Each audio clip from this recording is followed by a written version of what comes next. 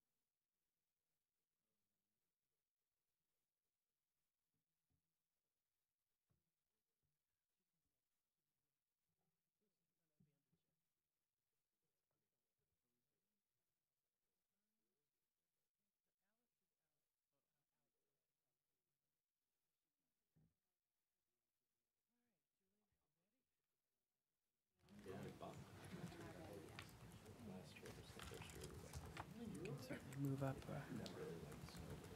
public comment if you'd like. Okay. I think that totally makes sense. I'm going to keep my report very short. Okay. Okay. Thank you, Julian. All right. Uh, Welcome. I'd like to call to order the Board of Education meeting of April 3rd, 2024. Please stand for the Pledge of Allegiance. pledge allegiance to the flag of the United States of America and to the republic for which it stands, one nation, under God, indivisible, with liberty and justice for all.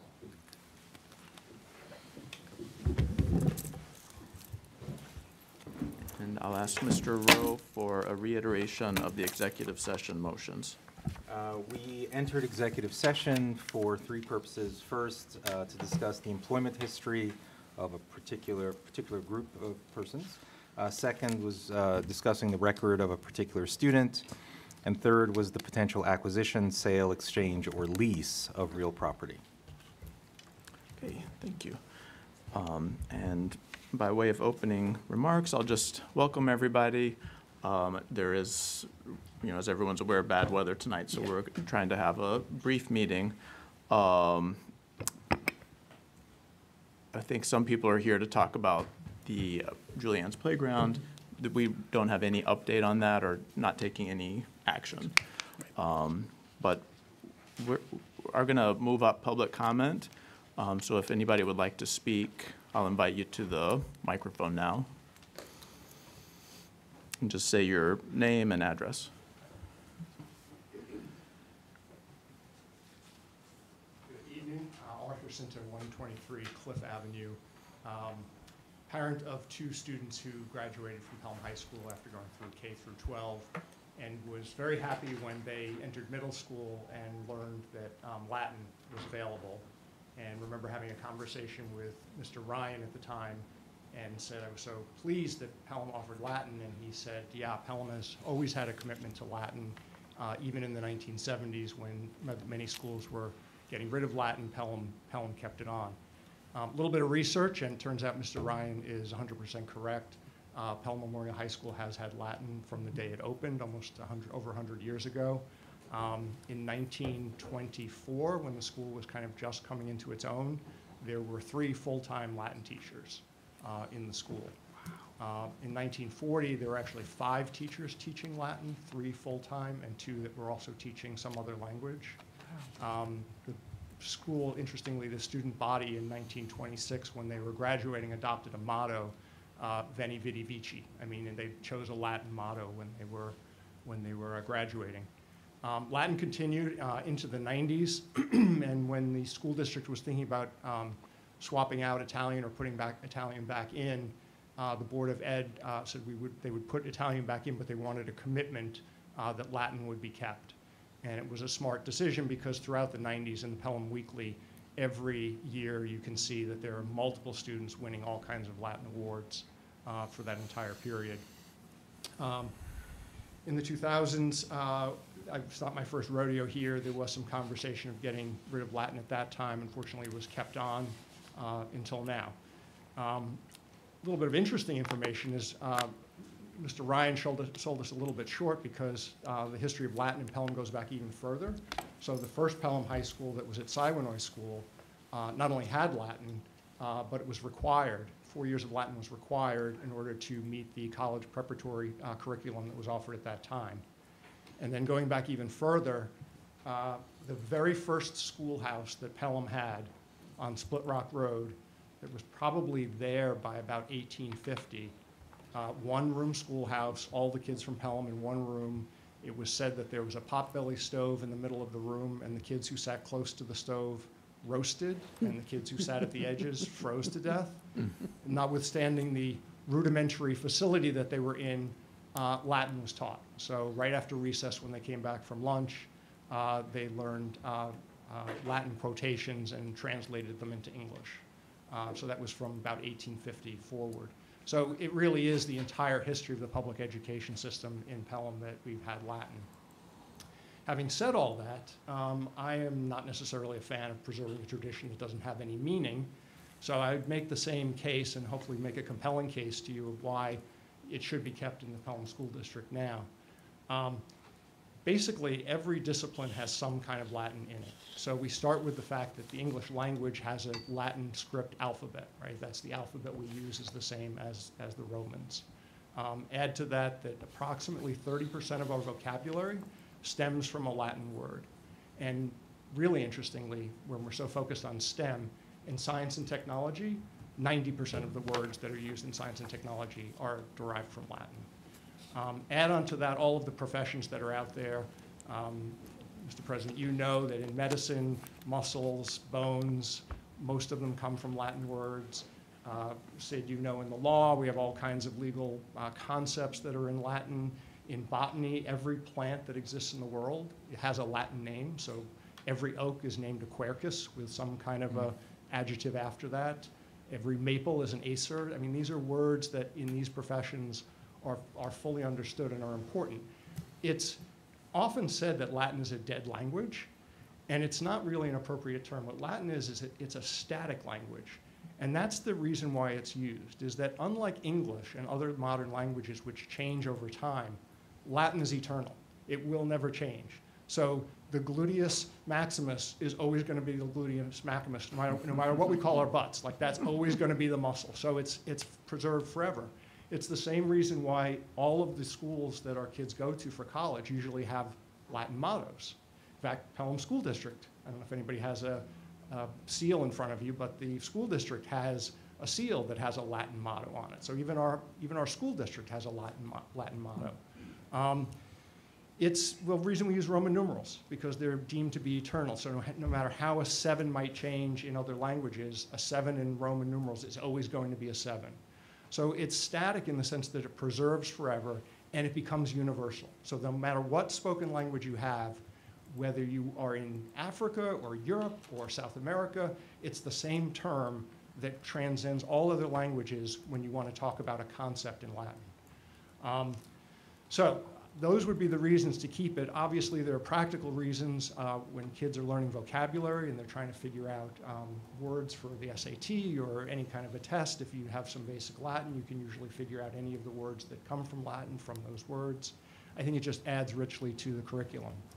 Um, if I can take just another minute, I just wanted to talk a little bit about the mechanics. If, if you do decide to keep this, which I hope you will, uh, when I was last here in probably 2008 or 9 or somewhere thereabouts and talking about why to keep Latin. There were, uh, let's just say, misunderstandings at the time uh, that were driving Latin out. Uh, one of the misunderstandings was that kids didn't want to take it. And on further examination, it turned out that it was being offered at a period where the kids could not take it. It was conflicting with other required classes, so it was not possible uh, for them to really fit it in the schedule. The other misunderstanding was uh, we had an excellent middle school Latin teacher who was in the process of getting certified, and uh, the district uh, let him go because they thought he wasn't getting certified. And in talking to that Latin teacher at the time who went to Regis to teach instead of in Pelham, uh, said that no, he was getting certified, but the district would not offer him a full-time position.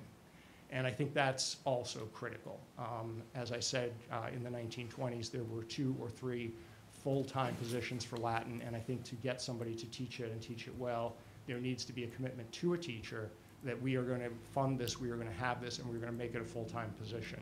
So those were the misunderstandings that led to this the last time, which fortunately, after talking to the Board of Ed, they were rectified and they were able to find a teacher. One other misunderstanding was the jobs were being posted on some site where classical majors don't really go. So there are specific websites, if you're looking for a Latin teacher or want to post for a Latin teacher, where somebody who's trained in that um, discipline would, would go to look for a job. So um, I think any obstacles are surmountable. And um, you know, as we used to tell our kids, there are lots of words in the English language, and two that do not go together are I can't. So, um, you know, we can't is not something that we should have in our vocabulary at Pelham.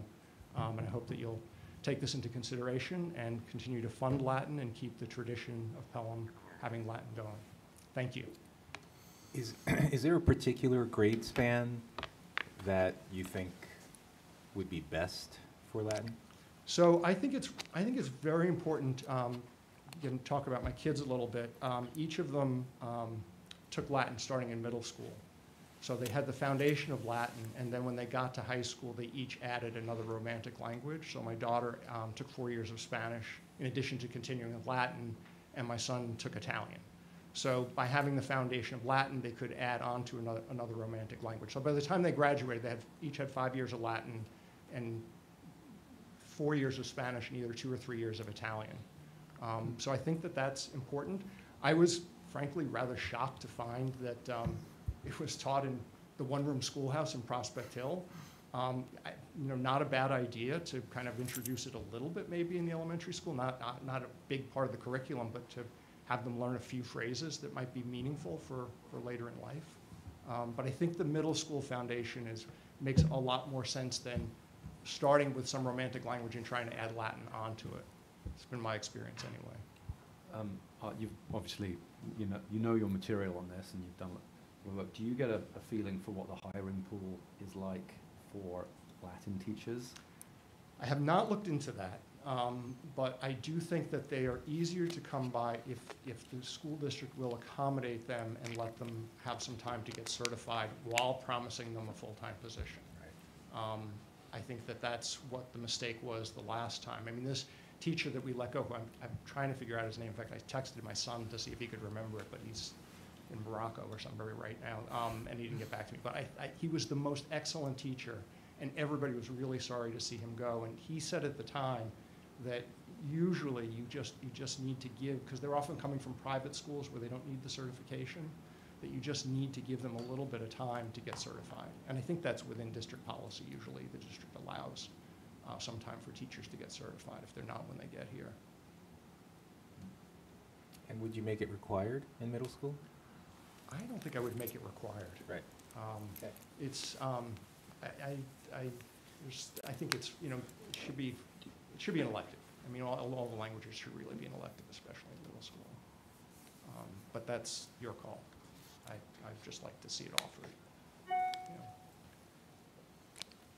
Anybody else?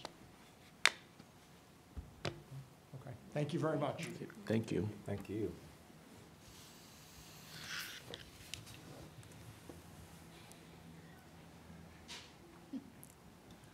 You have to speak in Latin. Hello. You have to speak in Latin. I haven't done this. I know Latin. I don't know anything about Latin. Learned a lot right by him. John Hines, 316 Third Avenue, Pelham. Uh, thank you. I know you already said that you weren't going to table or discuss this, uh, the water pump situation tonight. The reason that a few of us got together is uh, a bunch of people did call text me, got in touch with me and asked certain things. I am not the spokesperson for it, but some reason they reached out to me. A few people were coming. I said, I'll come also. One of the reasons we come is because in your, uh, one of the things in your executive session, you guys were talking about property. I, I know it's not our business, but that raised a little caution or a red flag, so that's one of the reasons I came here. If you don't mind, I know you're not discussing it tonight, I just want to know, if you can, what step is it at? Um, I know the last time when I came to this meeting and following up and listening to the people and reading articles and stuff, that the mayor wanted to go try to take the property and what have you. Not to get to the whole legal thing, but just Board of Ed answer, is there any process that you guys are up to right now? What stage we're up to?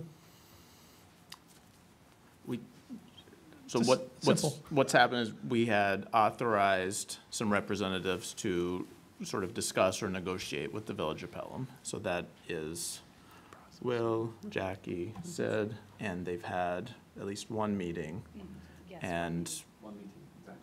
yeah, and maybe one email. yeah. Um, but nothing, So when we, there's no, no agreements, no, Nothing in no plans for process. future, future meetings so at this committees point. together discussing with the village on a possible project? Yes, we're author, we're authorized to, um, discuss the, the transfer Transfer, of Ju- was the of word. Julianne's. So, so that is, all right, so that's what I'm trying to get at. For So consideration, that's. Consideration, right? And it's, Yeah. it's not a final stage yet, but, but there is a process that it- this could happen. There, there, are- there are, ma- there, there are many outcomes. Okay. Yeah, There are many outcomes, um, that, where, ha- this could end in many outcomes, and we don't have, we haven't agreed upon any of them. Yeah, Okay. All right, you guys will just keep us, we'll keep you, in- yes, Absolutely. keep you informed. all right. I'll see you. All right, that's, it. thank you very much. Thanks. Thank you.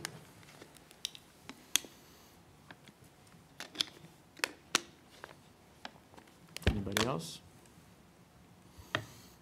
And, you know, I, I guess the, the only other comment about that is, you know, it's not our project.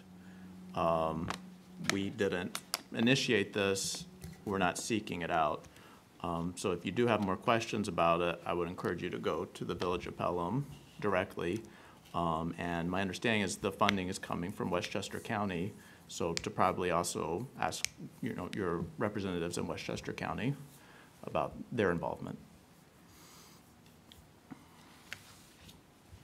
Okay, I think that brings us to our line-by-line budget review. Yes. I'm gonna let Jim kick it off tonight. Let me get the big book out. Well, I would say, well, I get my binder out too.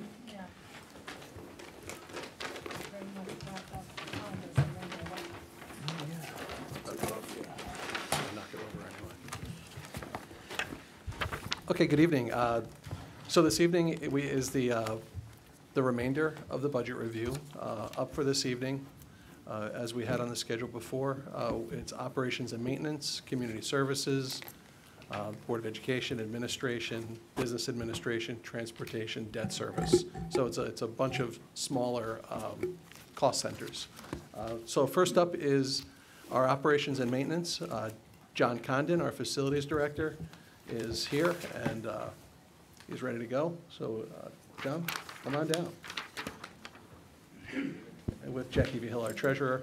Uh, If you will, we're going to start on B5. So if you look under the general support tab of your book, that's where B5 begins.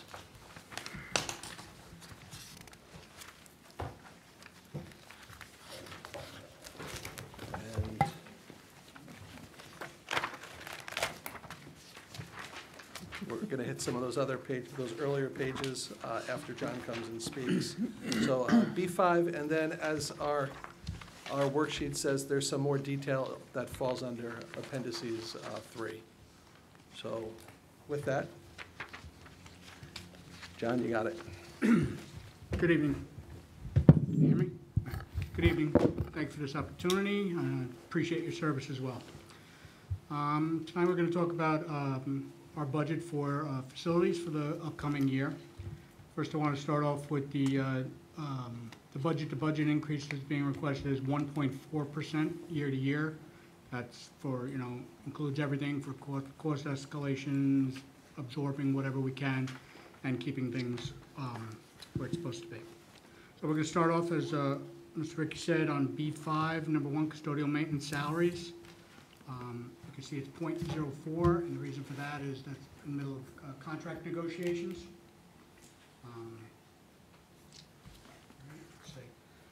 We'll going to uh, summer help salaries. These are, uh, this is a summer program that we do where we hire um, young people from the town to help us with the, uh, the building, and quite honestly, it's not help, it's actually our workforce. Uh, We do have limited workforce in our staff, we are um, not heavily uh, staffed, and without this, uh, this summer help, we wouldn't get the buildings ready for the coming year. Uh, If you look at substitute uh, coverage and salaries, there's a little bit of uh, backwards numbers there, if you, question, if you, if you would. And part of that reason there is, um, a lot of the subject covered. we had uh, absentees, not, or not absentees, but we did have openings in our, um, in our ranks, which were backfilled with overtime. And if you do the math on that, there was a forty thousand dollar savings, so it it worked out to our advantage. Um, School-related slash emergency, not school-related emergency, but if you could, uh, if you wanna follow along, uh, if you go to G one, right, G, G one we're at, or G two, still at G one. So school, school-related, uh, and emergency, emergencies being snow, which is considered emergency, floods, uh, any other problems that we'd have to come in for, you know, uh, or, and, um, school-related would be, um, any events that go on, uh, after school, um, perhaps board meetings that run late, um, you name it, uh, whatever it is, that, that, that's, that's where that money's come for, come from. Graduation, We can, we can, prom, plays. junior prom, theater, right. Siwanoy Day, you name it, we got, you know, you, all those fun events, our guys are in the background there, taking care of it and making sure everybody has a nice time. And i- if any, you know, anybody wants to stop at any point or wants some more elaboration, I'll be happy to stop.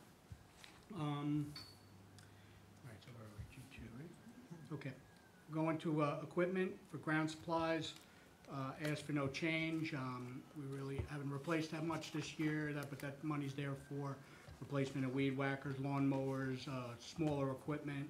Um, You know, we- we do have a, a good staff to take care of their equipment. We try to uh, make the equipment last. Uh, We replaced an engine in a a walk-behind mower this year as opposed to replacing it, so it was a lot cheaper and it made a lot of sense. The equipment was in good shape, except for the motor, so that, that was a cost saving. So we didn't see a big expenditure. Building equipment, same thing, it's buffers, strippers, vacuums, that sort of thing to replace uh, uh, cleaning equipment. Um, We try to automate as much as possible, since my time here, we've added automated uh, cleaning machines, walk-behind uh, floor machines, keep the building cleaner, faster, more efficient, and try to, you know, utilize that workforce somewhere else. Um, Mechanical equipment is for HVAC equipment, replacing fan units, compressors, air conditioners. We just recently replaced a condensate uh, return pump in the high school. which I believe was 50 or so, like About fifty thousand dollars for that. Um, see it, it's lovely, it's nice and, know, like nicely installed. Uh, So that was up and running over Easter. We got that done when everybody was out of here, so we wouldn't have any downtime for heat. Uh, we go into the fun, like, uh, fuel and lighting now, which will take us to G, uh, three. Um, so we go into, uh, fuel, uh, there is reserve, correct? Okay, we go into fuel lighting. Fuel, There is an area of contingencies, Right. we have some contingent funds in those. Right, so if, if the board's looking to net it out, there's, a- on the back page of your budget book, again, you've got all the detail to the contingency, so you'd be able to uh, determine exactly what that line item is. And where we have those items, we, we have in the comments section that it is an area of contingency. And Obviously, it's the same uh, numbers from last year, but we have it, obviously, fuel has gone up in, in price. We burn primarily uh, gas here, we do not burn oil when we can avoid it. We, in the high school here, we are on a uh, demand. Con Ed forces us, we have to go to oil, but we try to avoid the oil because the gas is more efficient and cheaper. Um, Electric, we, although we didn't increase that, we're expecting or anticipating a thirty-two percent increase. That's what everybody's um, budgeting around for it. That's what they told us the increases would be. Um, We're at the uh, mercy of the uh, energy companies and, you know, ever since, I guess, Indian Point went off, all the other reasons, prices have just skyrocketed. Has, has anybody seen their Con Ed bill at home? Uh, Water I- I- service. If I can jump in too, Yes, sir. fortunately enough, we, as a municipal entity, we are uh, entitled to purchase our power at the New York Power Authority, so we're able to at least obtain a favorable rates. Uh, And then we pay a delivery charge through the local, uh, local utility, which is Con Ed. Um, Water service, we uh, scheduled an increase for that based on their anticipations as well. The, um, as you know, water, uh, water service used to be from Suez, now it's Veolia. They were recently sold. They seem to be doing a lot of work just around town. You see everything getting marked out. They're going to be replacing valves uh, all around, if you haven't noticed, um, which, you know, you don't mind as much when um, they're actually doing work for the additional monies telephone and internet, uh, or ethernet service, uh, you'll notice an increase there, because I absorbed the budget for, uh, internet for up at, uh, Sanborn as well down at Glover. We added high-speed internet to both of those, obviously, uh, we needed that up at Sanborn for the new offices up there. But down at Glover, was, uh, for the security camera systems and, the local live that was added in, which, you know, people can watch games and watch their kids if they're not able to be at the game, they can watch the game, so we needed that service down there.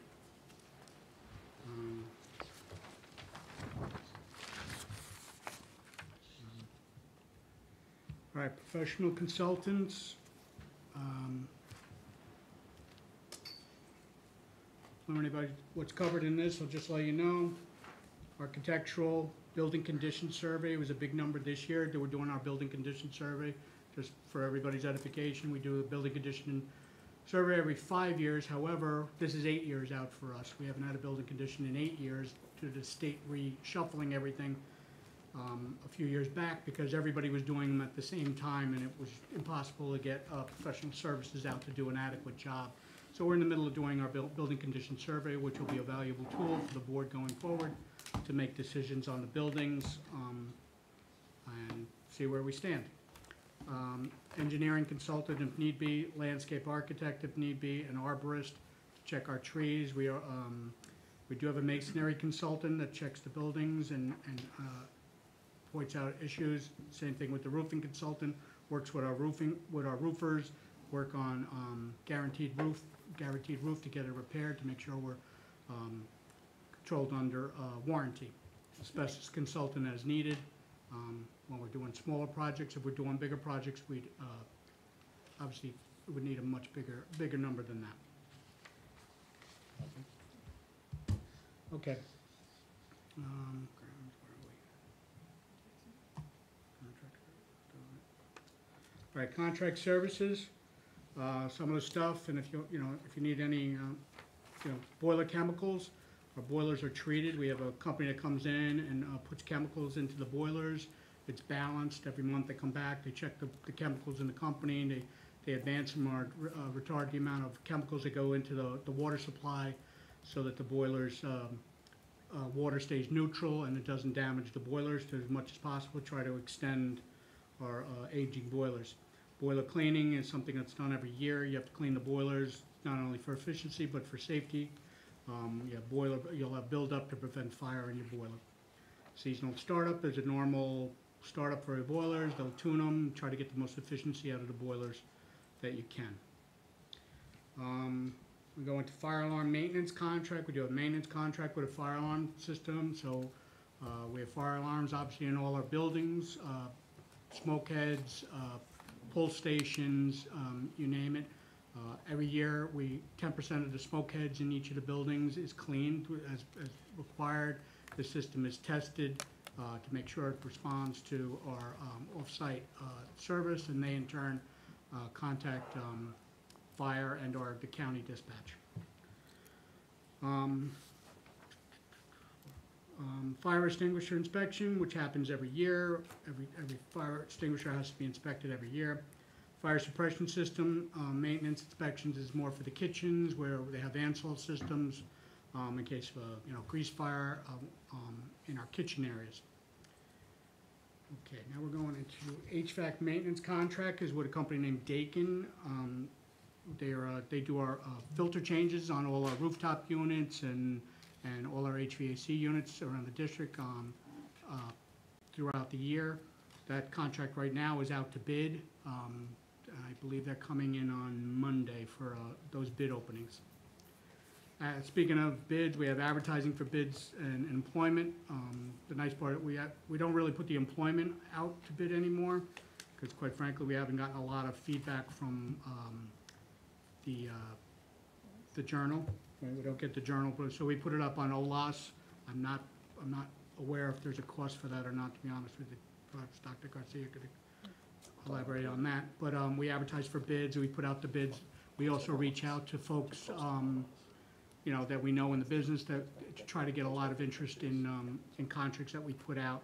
Right now, we have HVAC, uh, out, we have, uh, tree, and we have masonry out right now for bid that are all being opened on Monday.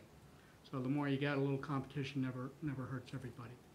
Backflow, uh, device inspection.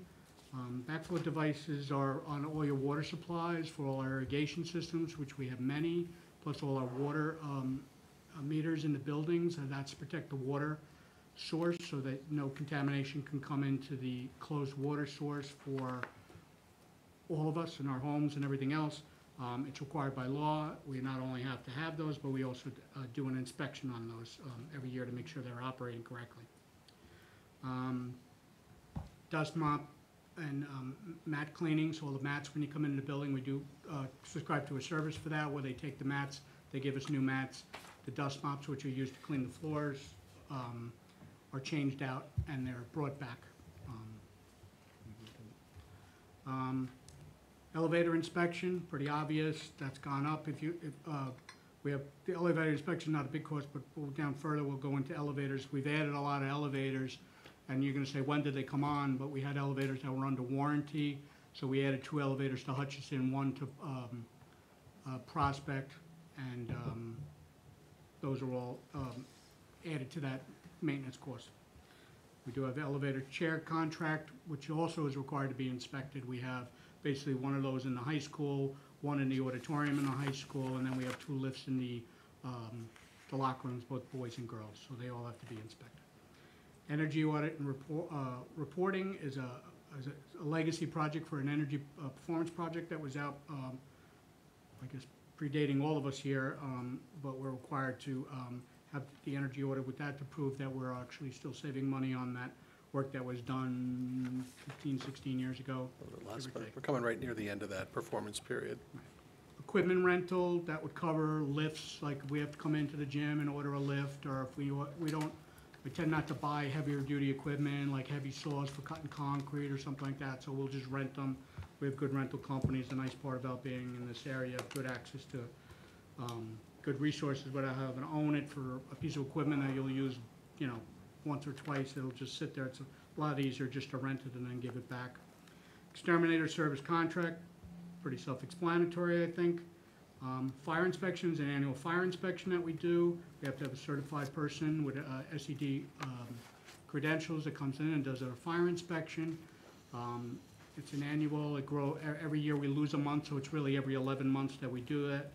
And um, we report then back up to SED, and it's required for us to pass our fire inspection um, and make sure everything is corrected before we'll get uh, a certificate of occupancy for the building, so that's a very important thing, and that takes the cooperation of everybody, because it's everybody's issue.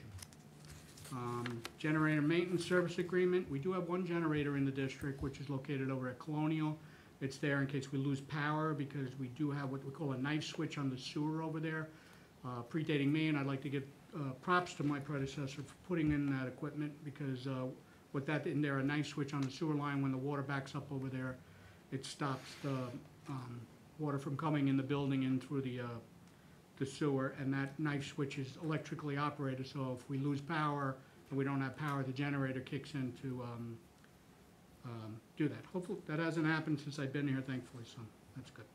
Landscape maintenance contract, we do have a landscape uh, maintenance contract, and again, I- that's another bid that's actually out, going out on Monday. Um, They cut our grass, they take care of our leaves, they take care of our gutters. Um, Again, I'll give props to my predecessor for drawing up a very elaborate contract on that, that makes them clean the gutters, which is fantastic. Um, It's a necessary part. Um, Moving expenses, um, again, pretty self-explanatory, if you need boxes, if we're moving offices or having to move uh, other things around. Um, I was told not to make a joke. POTS lines, uh, PA system, notification lights, uh, digital announcers. POTS lines, for those of you who don't know, is a plain old telephone line, okay? So that's what it actually stands for. So we still have uh, a lot of uh, copper line here. A lot of, all our elevators have backup uh, phones in them. That's all uh, phone lines. Um, We have phone lines for our, uh, you know, every fel, every telephone, every every, every lift has a phone. It's all required by law. We have um, communication devices on our staircases where we have uh, areas of refuge for a fire.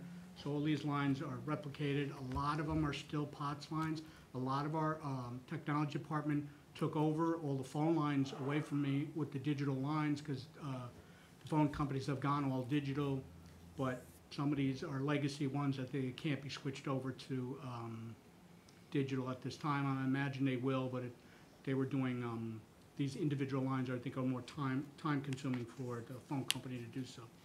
Refuse collection, obviously self-explanatory. Security alarm monitoring, another bid that we have out that's opening on Monday. Currently, we use Scarsdale Security, so we do have silent alarms in all the buildings, so if somebody were to break into the building, we know immediately that alarm goes to our, our security company and then to the police department or dispatch to capture the person and prosecute, of, of course, for trespass. Um, Sprinkler, standpipe system, service, maintenance, we do have sprinklers in, in a good section of our building. So sometimes heads have to be replaced. Uh, we do have standpipes in other areas. Standpipes are for where the fire department would hook in water, so they wouldn't have to drag hoses as far. They could hook in one side of the building and charge the system, and then just drag one hose upstairs and, God forbid, have to fight a fire on the third floor. Um, But like I said, most of our buildings do have sprinkler, and um, that would knock down a, a good part of it. Um, Veeder-Root, um, service contract is for, uh, our oil tanks. It monitors our oil tanks above and below ground. We have some that are vaulted above ground. We have some that are underground, like at Siwanoy. Uh, the middle school and, uh, Prospect are all underground, so we do have a system that monitors, make sure they're, they're intact, make sure water doesn't get in and make sure they don't leak. We're required to do daily checks on these boilers, uh, and record that for Westchester County. Um, Westchester County monitors, um, um, all the oil tanks in the county. They will come around, they will fine if they find discrepancies. So these systems are great. It'll get an alarm if there's some sort of problem. Could be, a cap could be loose and it will report that to us and we make sure that, um, you know, they're operating correctly. I know several years back, there was an issue at Siwan with a leaking tank that had to get replaced. Um, But since then, there was, a- there's been a new system put in. Um, Okay. Good, keep going. So four four two would be your repair lines, right? All right, so. um, I'll go. All right, four four two is repair. Um, If you look at G six, so uh, abatement projects, uh, asbestos abatement, air testing, so when you do, um, when you do any asbestos uh, project, you're required to hire an independent tester. Can't be somebody you know, it can't be related to whomever does the actual asbestos abatement, so that it's, um, and that also reports to the health department. So if we have a small project, if we were chopping a wall open and we wanted to fix a drain and we found pipe wrap that was su- suspect for asbestos, we'd have it tested. There's a cost for that. If we need to get it removed, we'd have to have a company come in and monitor that removal. Um, so that what that, that, that's what that money is there for. Um, if we're doing larger scale projects, which we, we'd have to have a, a, much bigger project for that. Um, let's see. This was our tank rate for the parent upgrades. Maybe you said something to do with. What's the next thing? Um, All repairs. All right, so boiler repair and upgrades, again, um, we do have aging boilers, all our boilers are approximately thirty years of age. Um, so we do, you know, do some repairs on those, we just replaced two condensate tanks at the high school last year and this year, which were big ticket items. Clock repair and services, um, are for our, uh, locked-in clocks as well as, um, a lot of, uh, some of our clocks in our systems are tied into, um, uh, the intercom system where they're all keeping time. Some of our clocks are basically atomic clocks where they're all independent of each other, but that's a cost for that. And we've also used that to work on the clock on the, um, the, uh, the school tower. For those of you who don't recall, we did do some work on that last year where we uh, fixed the clock. The clock wasn't working. It's actually a four-phase clock, for many people don't know that because you can't see the fourth side on it. But to me, it was important to get the fourth phase fixed, so we got that fixed. There's a new, um, it's new digital, um, um, drive behind it that keeps the clock on time, and it's on time, I check it periodically. Um, and we also put in LED lighting up there, so we don't have to change any bulbs, and it looks great at night, and very cool. I know Todd Cross, I don't know, some of you know him from town, sent me a very cool picture on the full moon with the clock. I could share it with you if you really want to, but, uh, so he, he liked that, and I, I did as well. Um, contingency for unforeseen projects and requests, could be anything, somebody needs, uh, you know, maybe there's a, um, um, special education need or something, maybe a ramp that needs to be built for a child, or a room needs to be divided, or unforeseen. If I knew what it was, I'd be able to tell you, but those are the kinds of things that are out there. Um, electrical repair, pretty obvious, we do electrical repairs, everything from changing light bulbs at Glover, you know, bigger lift stuff, to running new electric, maybe, uh, you know, somebody needs a new outlet somewhere. Smaller stuff it will handle in-house, but bigger stuff we'll bring in, um, the electrician we have on contract.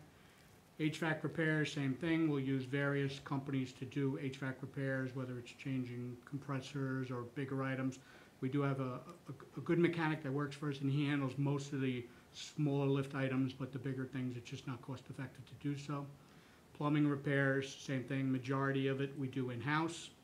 Um, Roof repairs, pretty obvious. Uh, we do have aging roofs here, which will definitely become, they only, they only leak in the rainy days, but that's the, uh, but the, um, you know, for roof repairs, we call in the roofer, have them fixed, and, and move on from there.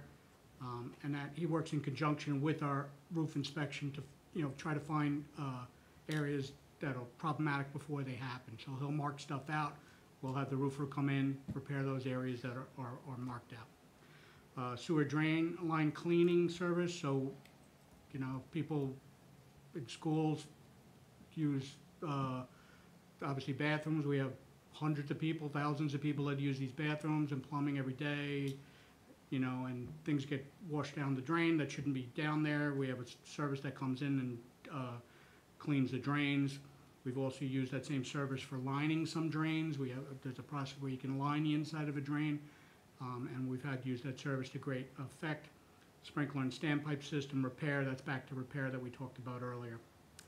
Acid waste management, um, our chemical, uh, our, our labs produce, uh, for lab experiments and whatnot, they use special sinks where they dump, um, chemicals down with acid waste, um, that goes into a lime box. Those lime boxes get changed out in the summer, and, um, new lime is added. We also have, uh, our new boilers up at Hutchinson, um, the high-efficiency boilers, actually, the exhaust goes through, um, lime as well, because it's so, so uh, caustic, um, so that water then is not dumped out into the sewer system and damaging our pipes, so that's what that's about. Backflow preventive repair and replacement, uh, we talked about backflows, uh, before, so they get tested and checked. Uh, BMS systems, um, we do have a, a varied amount of BMS systems in the district. We go from everything from nineteen twenty-seven technology, which is pneumatic. We have, uh, technology from probably eighties, nineties, and, uh, our newest, uh, technology is in our in, um, Hutchinson, which is completely computer controlled. We can close off parts of the building, turn it on, turn it off, vacation modes, um, that sort of thing. So big energy savings, um, that way. We've added newer controls or, uh, to our, all our boilers in the district, so we have more control of our boilers, and we've definitely seen, uh, fuel reductions because of that, um, control. Um, but the more digital control you have, the more comfort there is for people in the building, and additionally, uh, the more savings you'll have, but it's an investment, of course. Uh, drops for, uh, installation and move, so if, uh, you know, if somebody has their desk over there, and we're adding a new uh, occupant in a room, and they need a drop for, uh, a telephone and our, um, computer, we have to run a wire for that, which goes back to the main server that comes to the room, so that, that money's for. Um, we will do some of that work in-house as well to try to save, uh, some money there as well. Elevator repairs, it's in there again, we added, um, elevators, um, on. Um, equipment repairs is for our equipment, you know, uh, vacuums, buffing machines, floor machines, anything that we use in the building. Exterminator, additional services outside the contract. Um, hey, I saw a raccoon at Colonial, there you go, there's, that's for that. Um, You really didn't see a raccoon at Colonial, No, I'm making for it example. up. Not colonial, not our colonial, no. Um, Our, you know, we did have a, we did bring in a a trapper for um, some rodents at a, um, down at Glover Field. We uh, removed uh, Punxsutawney, a few of them down there, so that was done down there, so that's where that money comes out of. Uh, Where are we? Stop me if anybody wants. Uh, You good? All right. Fire alarm uh, devices and equipment repairs, this is again, smoke heads. Occasionally, you know, the, one of the problems with, one of the good things about having a really good uh, alarm system and smoke heads, it go, they go off. Um, If you get dust in them, if kids like to spray Axe spray in the locker rooms, that never happens, but um, stuff like that will set off the alarm. And it's unfortunate, when it, you know, the high school and middle school is considered, on- is one building, so one, something goes off, the whole building goes off. But it lets you know how sensitive this equipment is. Um, So replacing a bad head, as it were, they identify themselves, fire department has to come in, they will identify the spot, we'll figure out what, what caused the problem, was it, you know, something popcorn in the microwave, or was it, you know, an actual, uh, incident? Usually it's, uh, popcorn, but that's okay. Um, fire extinguisher repair, um, they generally just take them out and give us a new one. Uh, floor maintenance, refinishing, that's for, uh, we do all the high school floors ourselves, all the classrooms. Siwanoy, Colonial are all wood floors, which is very unique, by the way, and very cool that we have wood floors. So we do that all in-house and take care of that. But our gyms, we do farm out, um, so that, that's money's there for that. Generator service and repair at Colonial, back to the POTS line again, it keeps popping up there. Um, That's for all your uh, announcements, your lights outside, we have the blue lights to let people know, then we do lockdown to keep away from the building. Public announcement system in the middle school, it's sort of a separate system, it's, obviously the middle school's 20, 20 plus, so um, a little different than the upgraded system we have at uh, Hutchinson, but um, it takes a little special care over there. Um, Not every company can handle it, it's a little bit of a, um, a different thing. Radios, walkie-talkies, and microphones, all our security personnel, all the administrators, um, all the custodians, all the groundspeople, all the mechanics are all tied in by radios. We also support uh, a radio for each of the fire departments and for um, the police departments as well. So um, that's for replacing them, replacing batteries, um, making sure that's working, um, making, sh- uh, we also have um, repeaters at the high school and at Hutchinson and at Prospect, so the money's there for that. Um, refuse container rent, rent- rentals, dumpsters during the summer when we're getting rid of, you know, bigger items, that's there for that. If we have to do a clean out, if we're doing a demo, replace, pulling out a wall like we did last summer, we, we opened up a classroom. So all that demo's gotta go into a container, um, so that's what we'll do, we'll do work like that in-house. Security alarm repairs, if we're adding, uh, a new keypad, or if we're adding, uh, uh, you know, uh, a, a new sensor someplace, that's where that, that's money, money there for. Shade replacement, we do have a company comes in, uh, replacing, uh, repair shades. Side replace, sign replacements well, the school, you know, when classrooms get moved around. Try really hard not to name anything, things should have a number, it shouldn't be, you know, Mr. Condon's office, because when you get rid of me, you wanna change the name, you wanna just have it as a, a number, right? So that just saves all that time. And these signs are really pricey because they are uh, uh, braille, they're required to be so, so they are pricey. Um, Vacuum, wet vacuum repairs, you know, we use a lot of vacuums. In the summertime, we have big wet vacs to help with the stripping of the floors and that sort of repair for our buffing machine strippers. Vehicle repairs, we do have an aging um, vehicle fleet. I did order uh, two new vehicles which I promise will be any day. I ordered them last August, I'm expecting them in August, so I hopefully I get the new year. Um, So I think we were replacing a twenty-plus-year-old vehicle with that, which was a donation by a resident, was my understanding, um, originally, so it, which is kinda cool.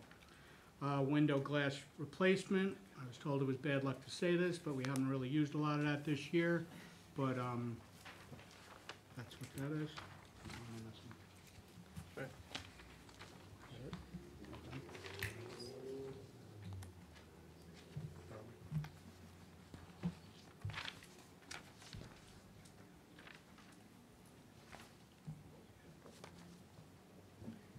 Thank you. All right, uh, playground inspection, um, we have monies in there for that, playground maintenance, um, mo- monies in there, tree pruning, uh, removal and replacement, as I said, we have that out for bid now. Um, you know, we have the company go around, they do recommendations of what should be taken down, if something's unsafe or, uh, you know, needs to take down or prune, we do pruning, to try to keep everything, um, you know, from splitting, um, we do we do add trees, we add trees around the district wherever we can, where it makes sense to add trees. I mean, the problem is we are land uh, poor really, and, you know, everybody wants to plant a, a- a lot of trees, but uh, they have to be planted correctly, they have to be planted in a place like, what are they gonna look like in twenty years?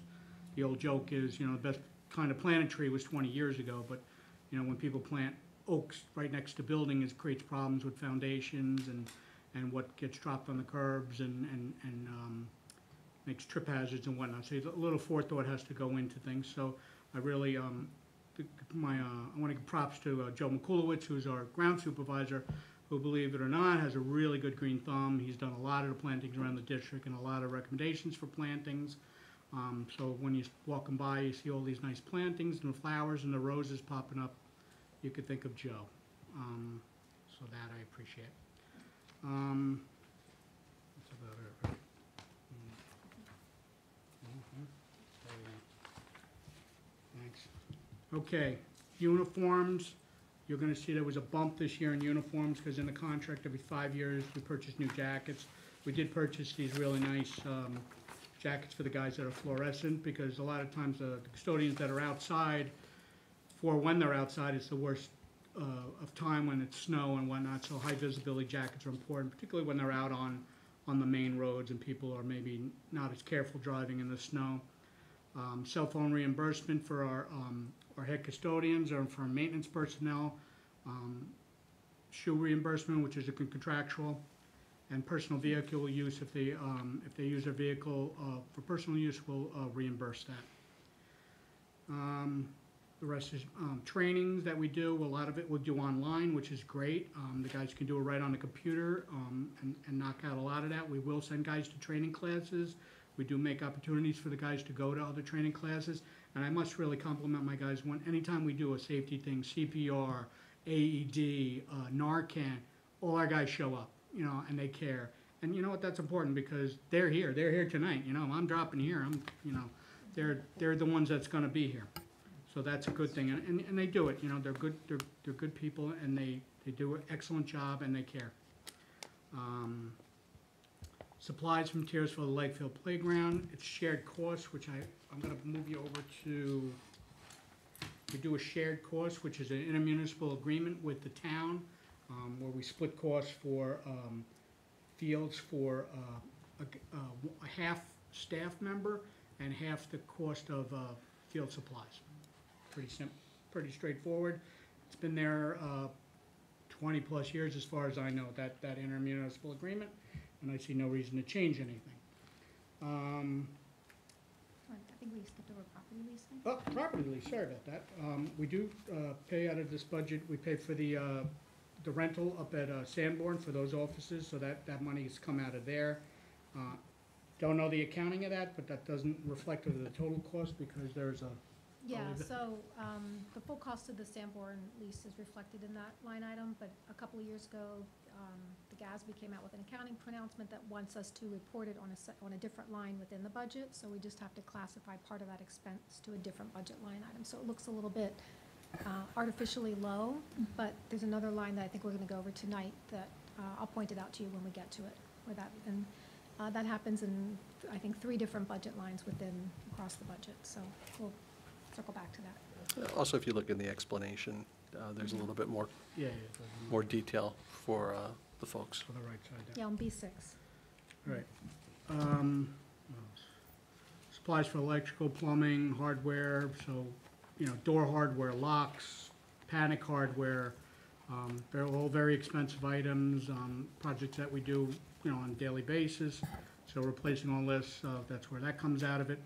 Uh, gas for, um, or, uh, equipment, be it lawnmowers, tractors, the vans, pickup trucks, plow trucks.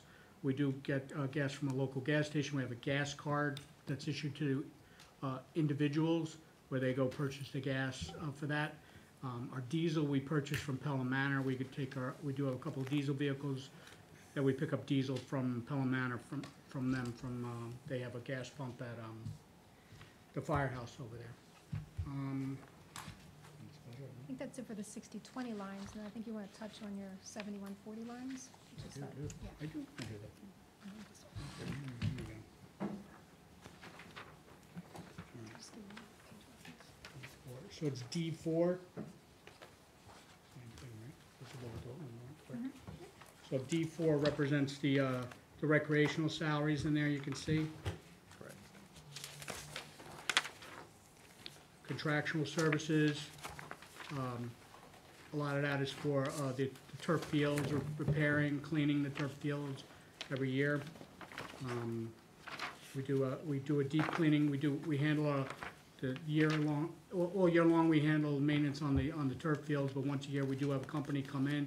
They have a much more expensive, heavier duty machine, it wouldn't be cost effective for us to own, um, that does a deep cleaning. We will add, uh, um, rubber to the fields as needed to make sure they pass GMAX, um, and, uh, and that's it. And then materials and supplies, there's your fifteen thousand, so we just purchased rubber for it. Um, but like, to recap, like I said, year to year is one point four, considering, you know, increases to fuel, electric, and everything else, and cost of everything else going up. Um, you know, we take great pride in trying to do it as efficiently as possible. Um, we're historically low on overtime, um, compared to, you know, if you go back in years.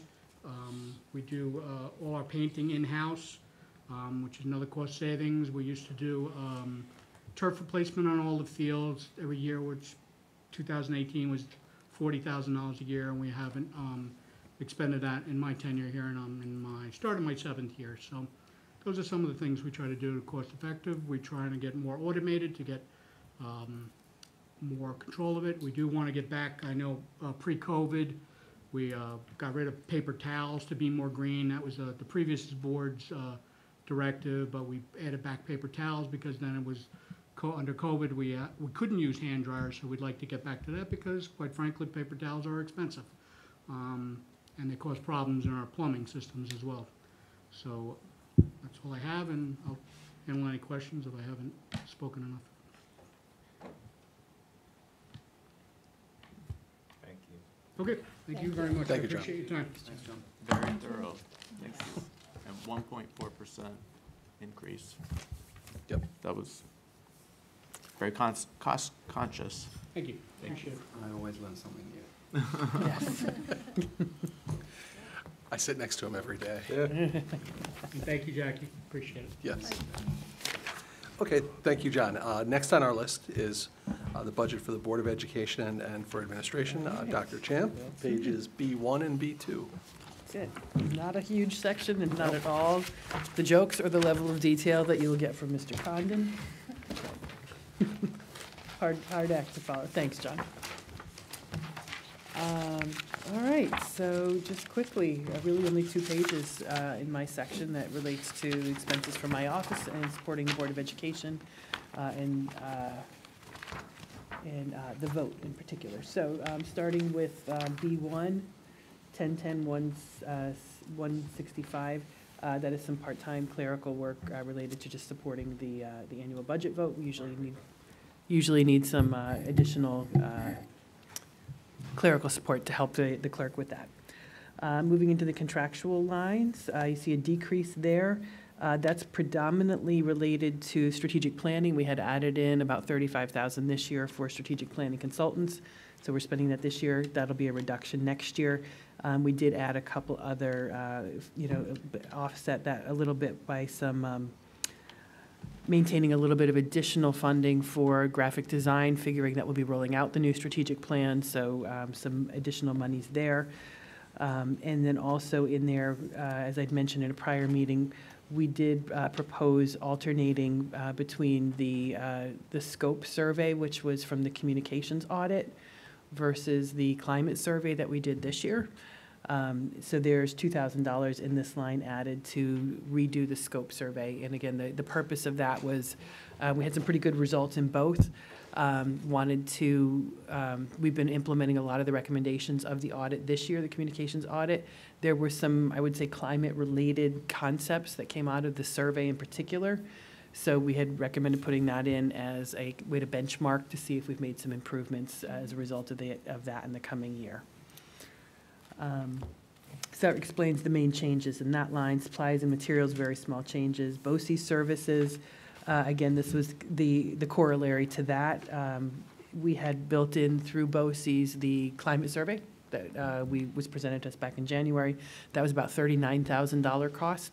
So the reduction you see there is largely related to that. Would be- I think we should consider, if we can, um, trying to maybe do a rerun of the climate survey this year, maybe not the full $39,000 Monty, but something, it feels like if we were to skip a year, waiting two years to update, just for me, feels like quite a long time. So I don't know if there were, if there were a way to, you know, do a check-in on the climate survey to see directionally how people are feeling. Um, I think that would be a good, a good thing to do. But if, it- I agree, forty thousand dollars is a lot. So I did reach out to them for updated pricing, given that this past year was the design year. Yeah. Um, So I don't know now that the tool has been designed, if it's, uh, it would make sense that there's a cost reduction. Um, So they, they're, they haven't gotten back to me with a price Okay. yet. Um, But I know we were, being that we were in a much tighter budgeting perspective and knowing that there was some similarity, that was kind of our, our uh, initial, you know, thought and best thinking on that. Fair but enough. No, Would I- certainly accept the board's direction on where we want to go with that. I, I mean, if you could get it for a steal, I think it would be worth considering. Yeah. I remember the, the consultant expert whom we spoke to, he said that you, pr- you don't really want to do it more than once a year. and- Correct. And once every other year isn't optimal either. So I think it's a useful tool, and if we could get it for a song, Mm. maybe we should do it.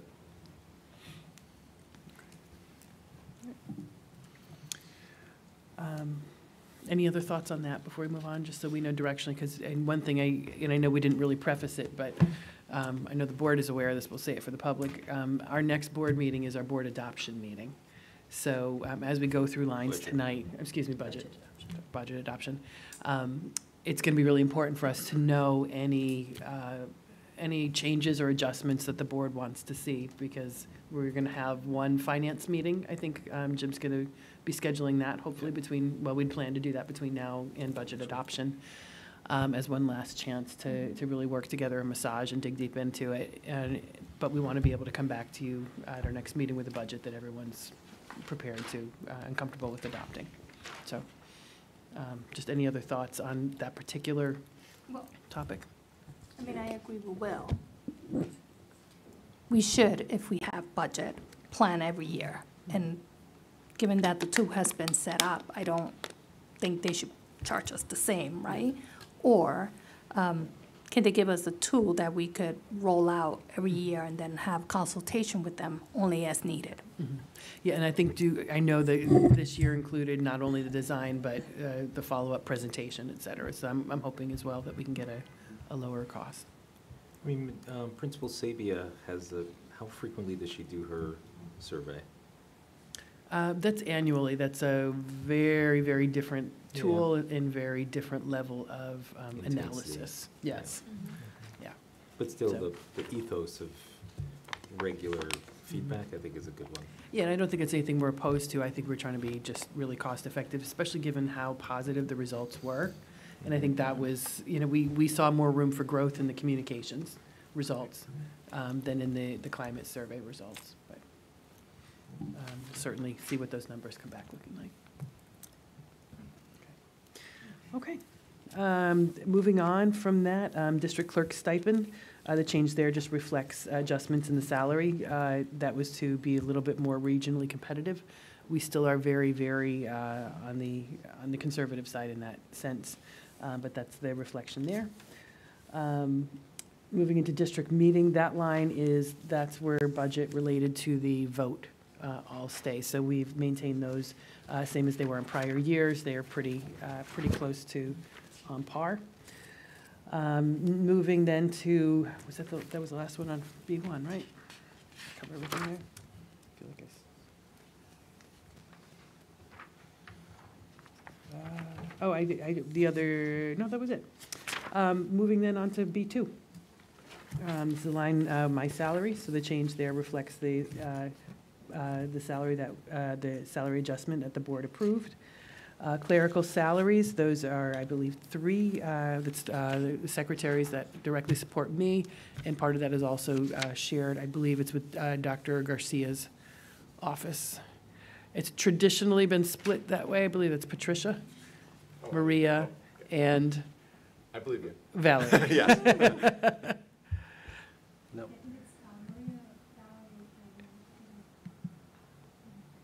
Juliana. Sharon, okay, I'm sorry, that's it, thank you. It was, it was five o'clock before I had a chance to look at this, so I didn't have a chance to verify, I appreciate that. Um, And Sharon's our data analyst. So just to cover those salaries within the office. And just a reminder too, that uh, Maria has really been working uh, predominantly supporting Alice Bowman uh, this year, because when we added that position, we did not add a clerical um, support direct to, for her. So Maria's been doing double duty for us um, as a, a way to, to contain costs there. Um, Contractual expenses, um, the adjustments there, a little bit of a change from year to year um, to uh, really to- to more right-size that. Uh, So in this category, you would see things like um, funding to support administrative retreats. Um, As the board knows, I've uh, accepted some leadership responsibilities in various professional organizations representing the district and the organizations. So that's added some increased contractual expenses in those lines as well. Um, In here, just make sure I give you the right line, 1240, 1240, Um, Also, any uh, additional consultants that we might bring in for uh, various work, um, whether it be uh, DEI, could be, um, as we're, at tonight's agenda, and one example, we're uh, approving, um, I'm recommending school leadership to do an executive search to fill Dr. Bowman's role, so things like that. So there's some money in there for consultants that's added to that as well. Um, We wanted to try to right-size those costs. Supplies and materials, um, really uh, not a significant budget to budget increase, a little bit there, and that is again just to right-size based on the needs of the office. And I think that's actually really all of my lines. Make sure I, everything. Yes, those are really the notes that I wanted to highlight. Is there any questions in there? Okay, Thank you, Dr. Champ. That's it. Next- Next up is our Human Resources Personnel, Dr. Garcia. Uh, The same section, page B4. Right, so on uh, B4, the first item is legal, um, which isn't HR, but it does HR work. That is our contractual expenses with our attorneys, as specified at the bottom of the page. Legal counsel is utilized for employee contractual relations, labor relations, with four collective bargaining units, and so forth and so on. Um, The next code, 1430, 150, is the salary for executive director for HR and leadership. Uh, 1430, 158 is the line where um, it's the salary increases, the estimated salary increases for the non-contractual, non-represented folk in the district, right? Um, And they're not covered on the collective bargaining agreement, and the final, final salary adjustments are always subject to and determination of discretion of the Board of Education. Uh, 1430, 160, the salary for uh, my clerical assistant. Um, And as you remember that last year, this is not part of this line, but we explained this, I think, under the staffing. We were hoping to have a, um, a part-time person added and uh, to assist, and then also a full-time clerical support the directors, right? We moved, the recommendation is then just to make that a half-time person for the directors, and then have the other part of that job work with me to try to contract that line a little bit. Um, 1430, 200, the equipment line for the office. Um, 1430, 400 contractual expenses um, that are necessary for the office, usually uh, for recruitment purposes. Um, And then 1430, 450, the material supplies for the office. Um, The last line on this page, 1480, 160 is the salary for the public information officer.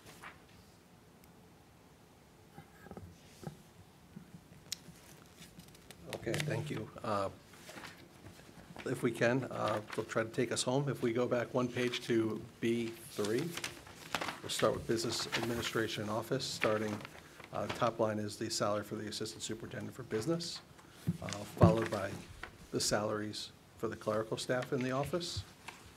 Uh, We have some contractual expenses, uh, generally related to um, ACA compliance, postage, bid fees, conferences, memberships. Uh, And then finally, uh, supplies and materials, paper, checks, things like that. And then uh, the bottom line is our annual auditing fee. Uh, But again, we have our external auditor, we have our internal auditor, and whenever we pay a bill, we have to go, we have a claims auditor, so, and that's usually twice a month as well. So um, pretty regulated. We've got, uh, and those are all contractual services uh, through CPA firms that we have.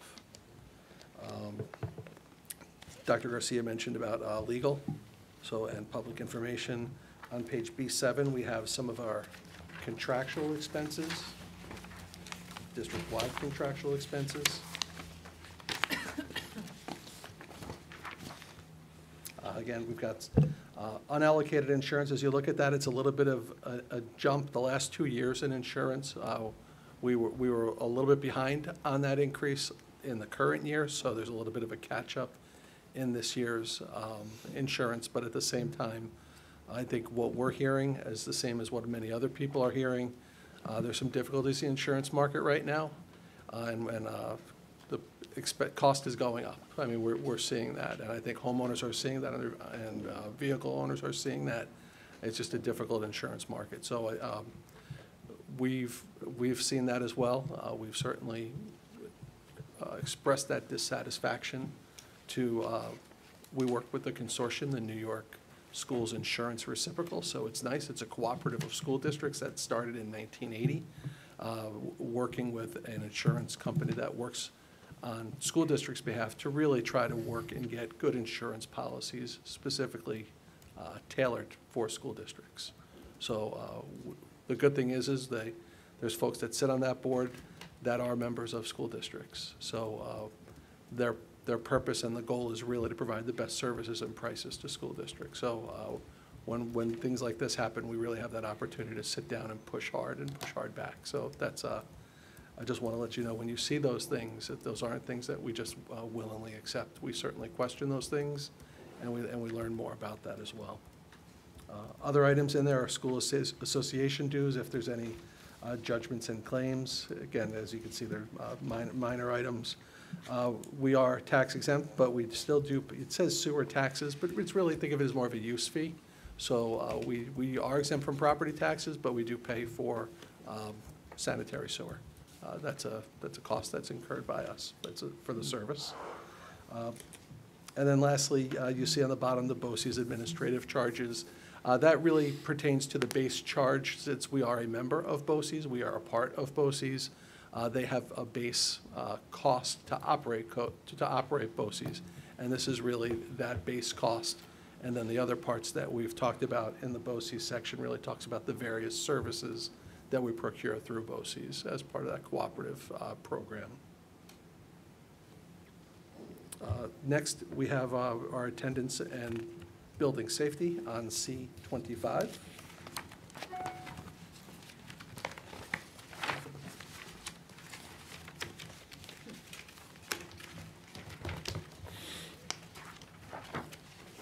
Listed, on- listed as attendance on the tab.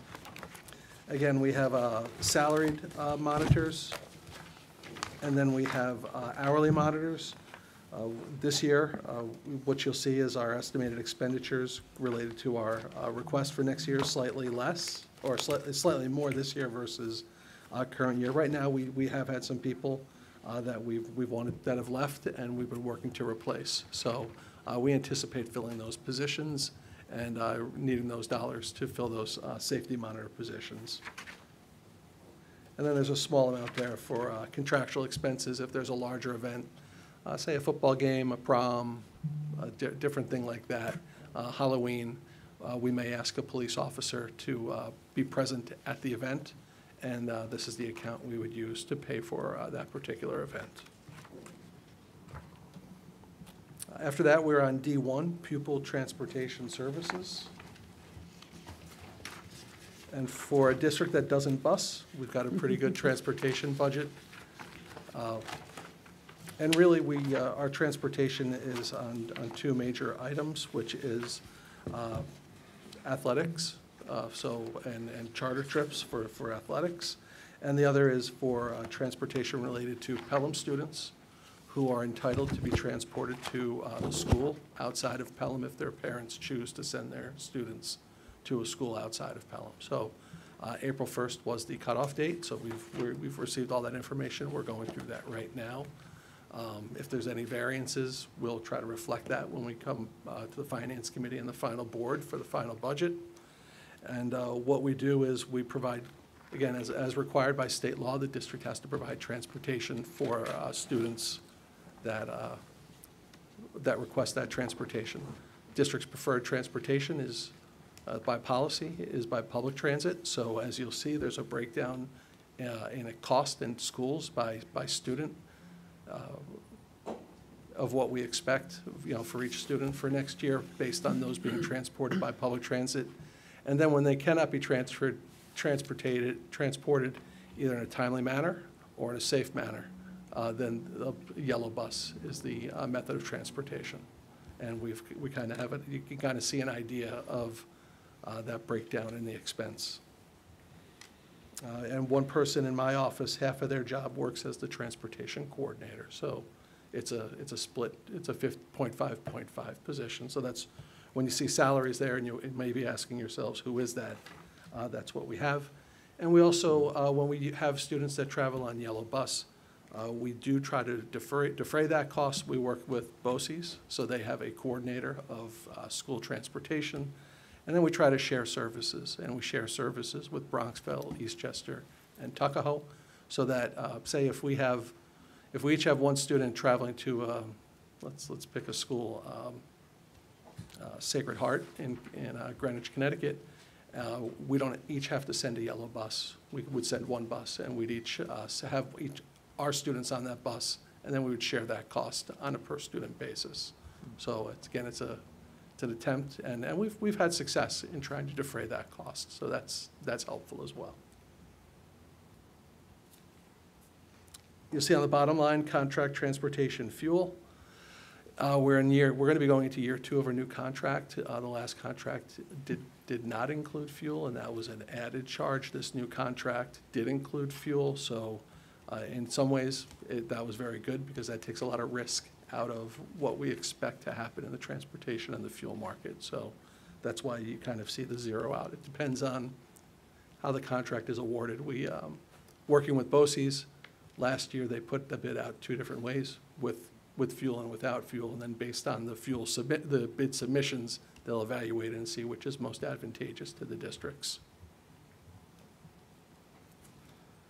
Okay, that's uh, all on student transportation. Our next item to discuss or to go through is um, employee benefits, which can be found on D5 through 8.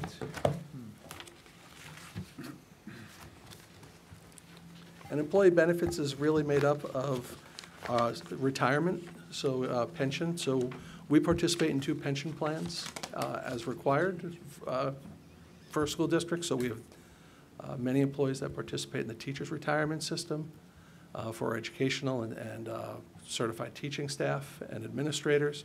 And then for all others, they participate in the uh, employee retirement system.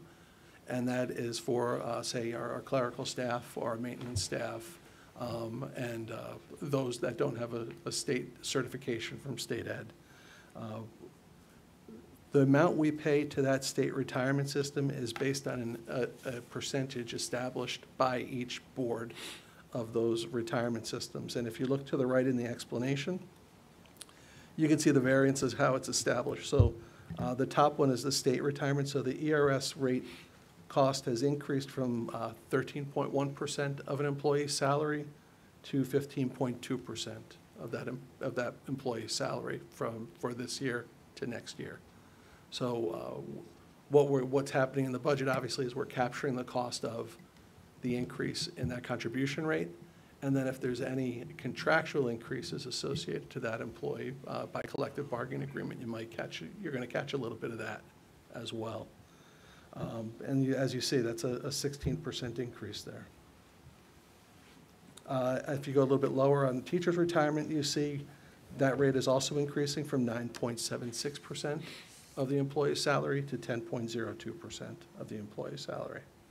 So uh, what we try to do, again, is uh, when we build the budget, and uh, this is something we shared in Finance Committee, uh, we, we look at every employee, we look at every, what, what pension plan every employee participates in, uh, what their uh, social security, Medicare contribution would be, what their expected pension contribution would be, and that's how we uh, determine all of these costs when we build up the budget every year. So it's not like we take a, we kind of take a general number for everybody and allocate it out. We actually build up every, we go person by person and uh, try to determine that cost. And we do that with uh, health insurance as well. So as you go down on the sheet, you'll see social security. Uh, There's a, a little bit uh, bigger increase there this year that you'll see. Uh, Social security has raised the base growth from 100, uh, the base limit from 160,000 to 168,000 dollars. So there's really, um, just about everybody's going to end up paying social security for the full year that we'll see. So you used to be able to catch a little bit of a break there. Uh, We have our worker compensations, in- insurance, um, unemployment. Um, As you can see, uh, for, co- during COVID, we received the credit, so we're still working on, on, we've, we've had some favorable experience there too as well.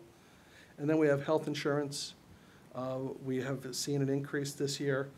Um, And also, as you look at that category, you'll see that that, that particular line does include some um, contingency dollars associated with the collective bargaining agreement negotiations.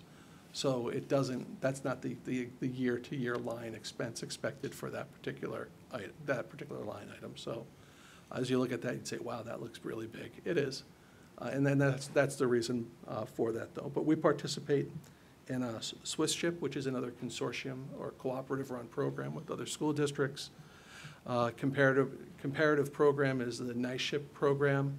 Uh, We, again, we, in Finance Committee, we shared some more, additional information, kind of looking at a comparative between those two programs over the last few years. Um, The participation in Swiss Chip has proved, proven to be more favorable than participation in the NYSHIP program.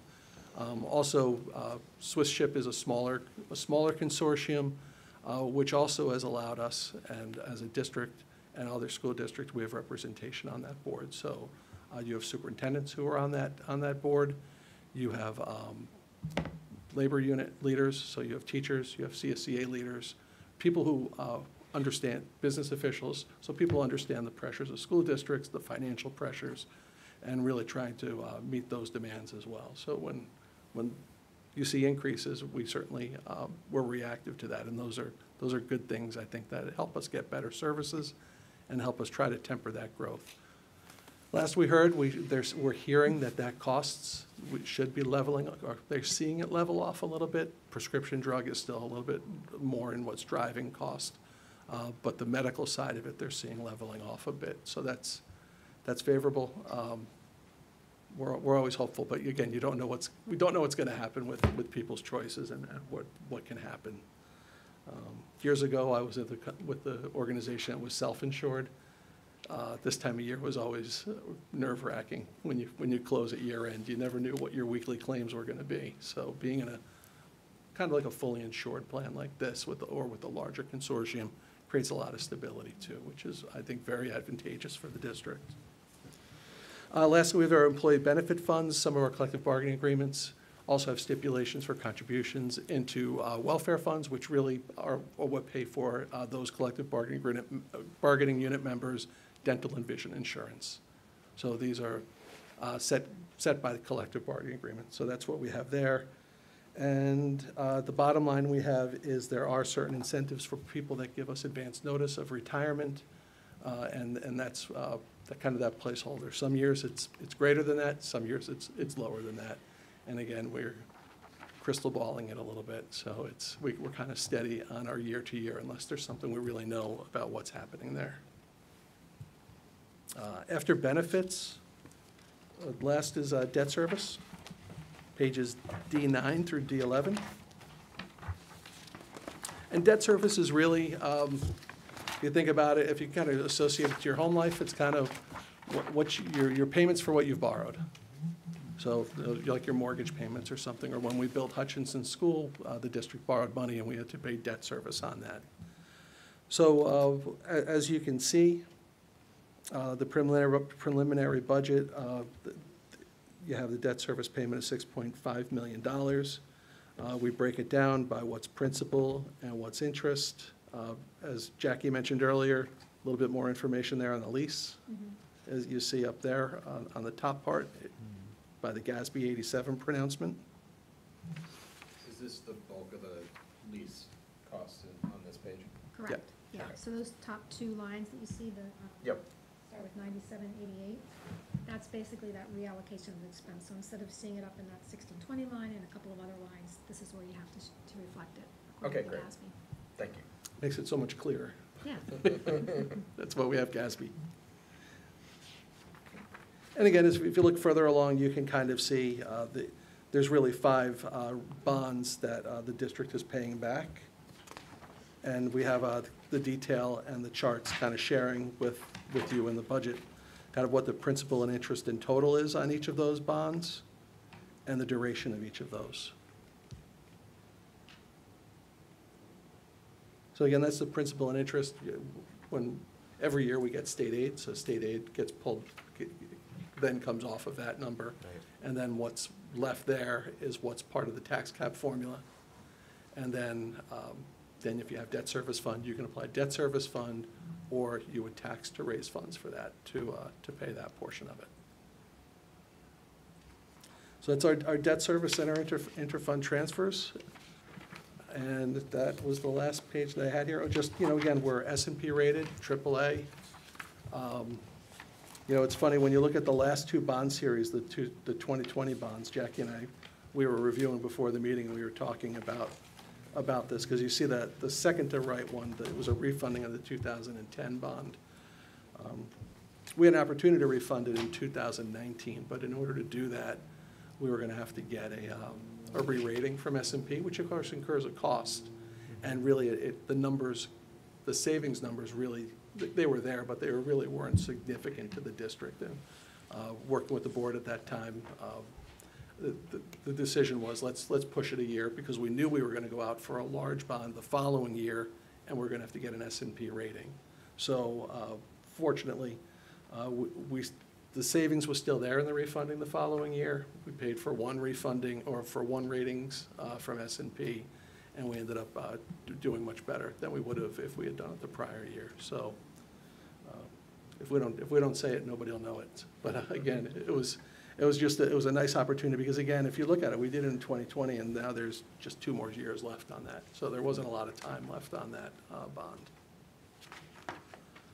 So that, the, the bond for Hutchinson School and the other projects was the fifty-four million.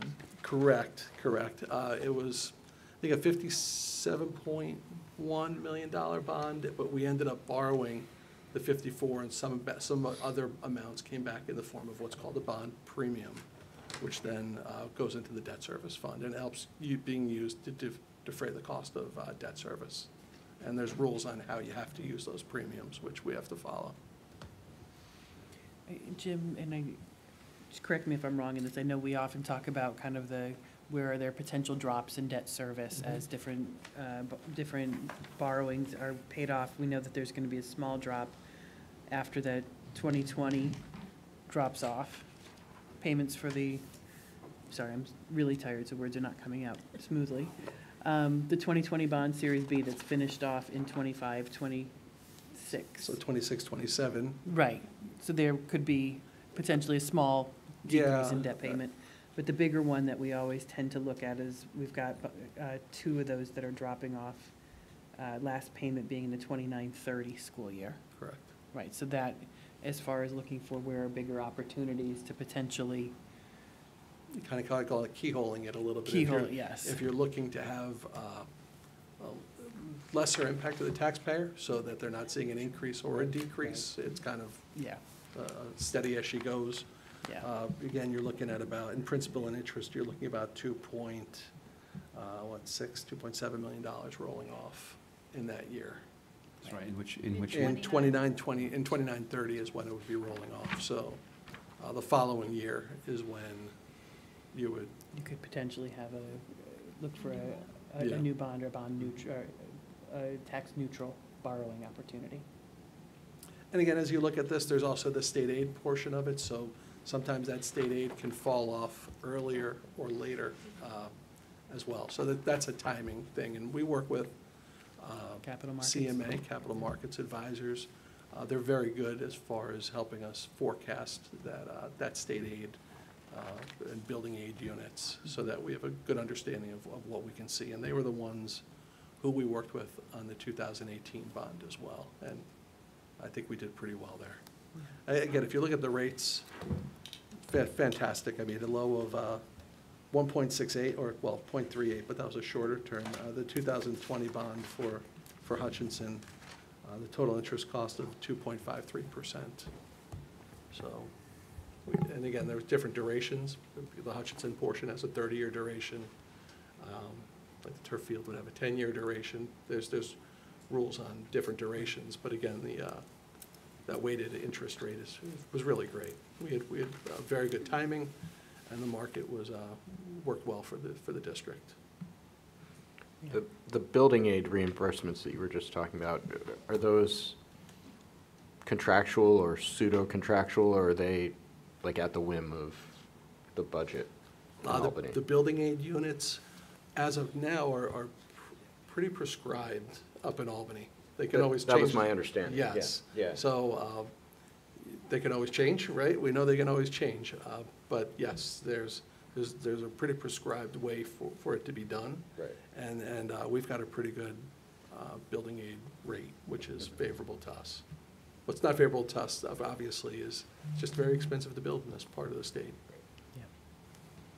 And I, I thought it was important to highlight those things because I know in our, our financial goal for the year, part of it's understanding our facilities needs, but part of it's also understanding our financial tools uh, and opportunities, whether it's uh, analysis of reserves, which I know we've spent a lot of time on as well, as understanding what uh, potential borrowing uh, options could be in the future to help continue to address our facilities needs. All right, thank you. Uh, Again, uh, I thank the Finance Committee, well, the Board and the Finance Committee. Uh, Finance Committee was kind enough to come in at 8 o'clock in the morning on Monday, so we, uh, we we had a- at least an hour-long meeting. I I think we broke Will's heart stop, unfortunately. Uh, But again, we've had an opportunity to go through the book, I think, in uh, a little bit more detail, have uh, more detailed conversation and more detailed conversation kind of collectively of where we are economically. Uh, I think what we're seeing as a district, what we're seeing in the region.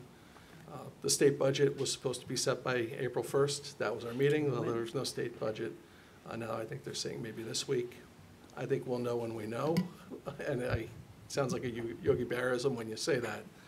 Uh, But they're gonna, they're gonna come to a decision when, when they're able to come to a decision. And I think the biggest, the biggest points, as I hear it, are still Medicare, Medicaid, and educational funding. So those are, those are the, the- the hard points that they're dealing with right now. Uh, As, again, as we look at it, we know that there's pressure, uh, kind of status of things that we've seen since the budget has been uh, pushed out. Uh, We've seen some greater pressure in special education and pupil personnel services.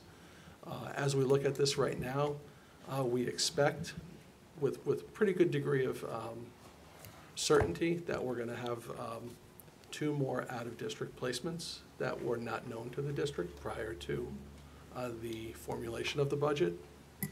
Uh, So that's, that's something that we have to think about. Um, And then you have to think about how are you going to pay for that? Because there's, there's different mechanisms, but we want to have a tax cap compliant budget. Um, Other things have happened, right? We look at the economic indication, indicators, what's happening out there. Uh, I think when we built the budget, we've been hearing a lot of news that interest rates were going to start, were really going to start dropping. I think at that point, the Fed was kind of people were kind of figuring about six, six uh, rate reductions. Uh, Now we're seeing, we're hearing that that's going to slow a bit, maybe three or four. Uh, So with that slowdown of interest rate, uh, interest rate drops, I think there's an opportunity for us to look at interest, interest income uh, as a way to, to uh, address that for, uh, for special education. Um, But I think we have to be careful about that. Again, conversations with, with Finance Committee, we know interest income isn't going to be there forever, and we've got to be mindful of how we, uh, how we build cost and program in a sustainable way. Yeah. Can I pick up on that Please, yeah. Thank you. Um, I mean, as, as we sort of conclude this, and as always, thank you, Jackie, for putting all these materials together and your team. It's always really, really impressive. Um, I, you know, I think that thematically, when we think about the, the budget, we decided this year, or the guidance we gave this year was to sort of pause, we'll try and, you know, um, decelerate growth in expenditure. And I think we've done that. Um, there's really no addition of headcount. There's very little addition of, of programming. You know, it's sort of pretty much a treading water budget. And yet, even by adding no heads and no programming, just because of the many, many factors that go into this budget, the sort of the cost of operating the district is up 5% year over year. And then you compare that against what the proposed tax increase is, which I'm sorry, I can't remember, is it 3.5? 2.68. Sorry, 2.68, right? So the costs are going up 5%, we're increasing taxes by only 2.68, so something has to kind of fill that gap. And what fills that gap are reserves, which is um, which are kind of finite, um, interest income, which is out of our control, and you can't count on that for very long. Um, and the third thing is state aid that, you know, is, again, out of our control. Um, and so it feels to me we have to sort of have this conversation around how sustainable is what I just described. You know, expenses outpacing the revenue sources that we can control. And for me, the, a couple of sort of conclusions come from this. The first is, you know, I think when we were discussing this year's budget, we talked about, you know, this year should be, you know, very conservative in terms of increasing expenses, right? We should try and, you know, cap the expense growth as much as possible.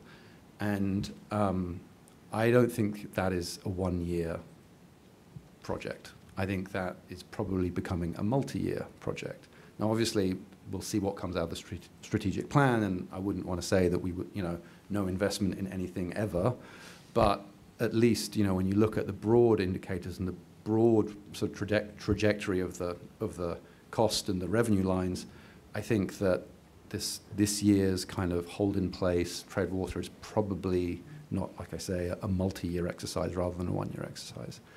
Um, I guess the other thing is, as we go into the strategic plan, maybe we should be having some full and frank discussions around certain programming where, you know, ultimately it's just perhaps it's, it's harder to justify it. You know, maybe there are pockets of things that we offer in the school district to our students that, um, you know, just perhaps aren't being used as much as we anticipated they would.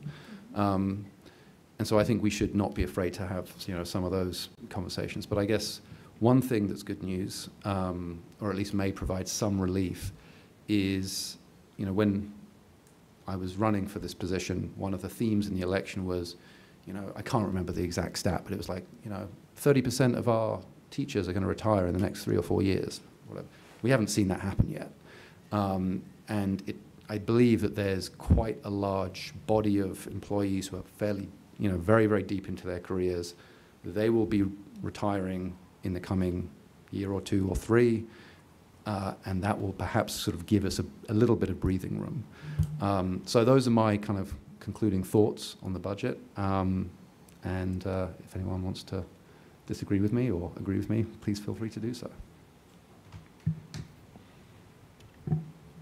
I, I agree that the, the, str- the strategic plan and sort of what the, the future of the workplace looks like with the retirements are the sort of opportunities that are non, not draconian in, in terms of managing the budget growth moving forward. And um, so it's good that we are talking about that now and um, appreciate that we're keeping that in mind moving ahead.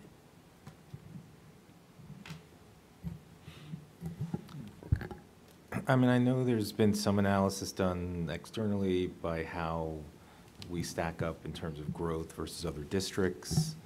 How would we respond, um, you know, if we are higher, lower, just how, how would we respond to where we are relative to growth trajectories of other districts? I- I think to accurately do that, you'd really have to unpack every district, to be perfectly honest. Yeah. Um, Some districts have been overfunded by formula of state, uh, according to the state formula. Pelham hasn't been. So I think the last few years, when that state funding finally became available to Pelham, Pelham was able to catch up and add program that they had been holding out, holding back on for many years uh, prior to that.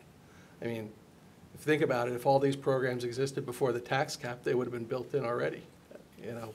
And, and that's, those, those are things where maybe the district uh, lost out on having those other things that have been added all those prior years.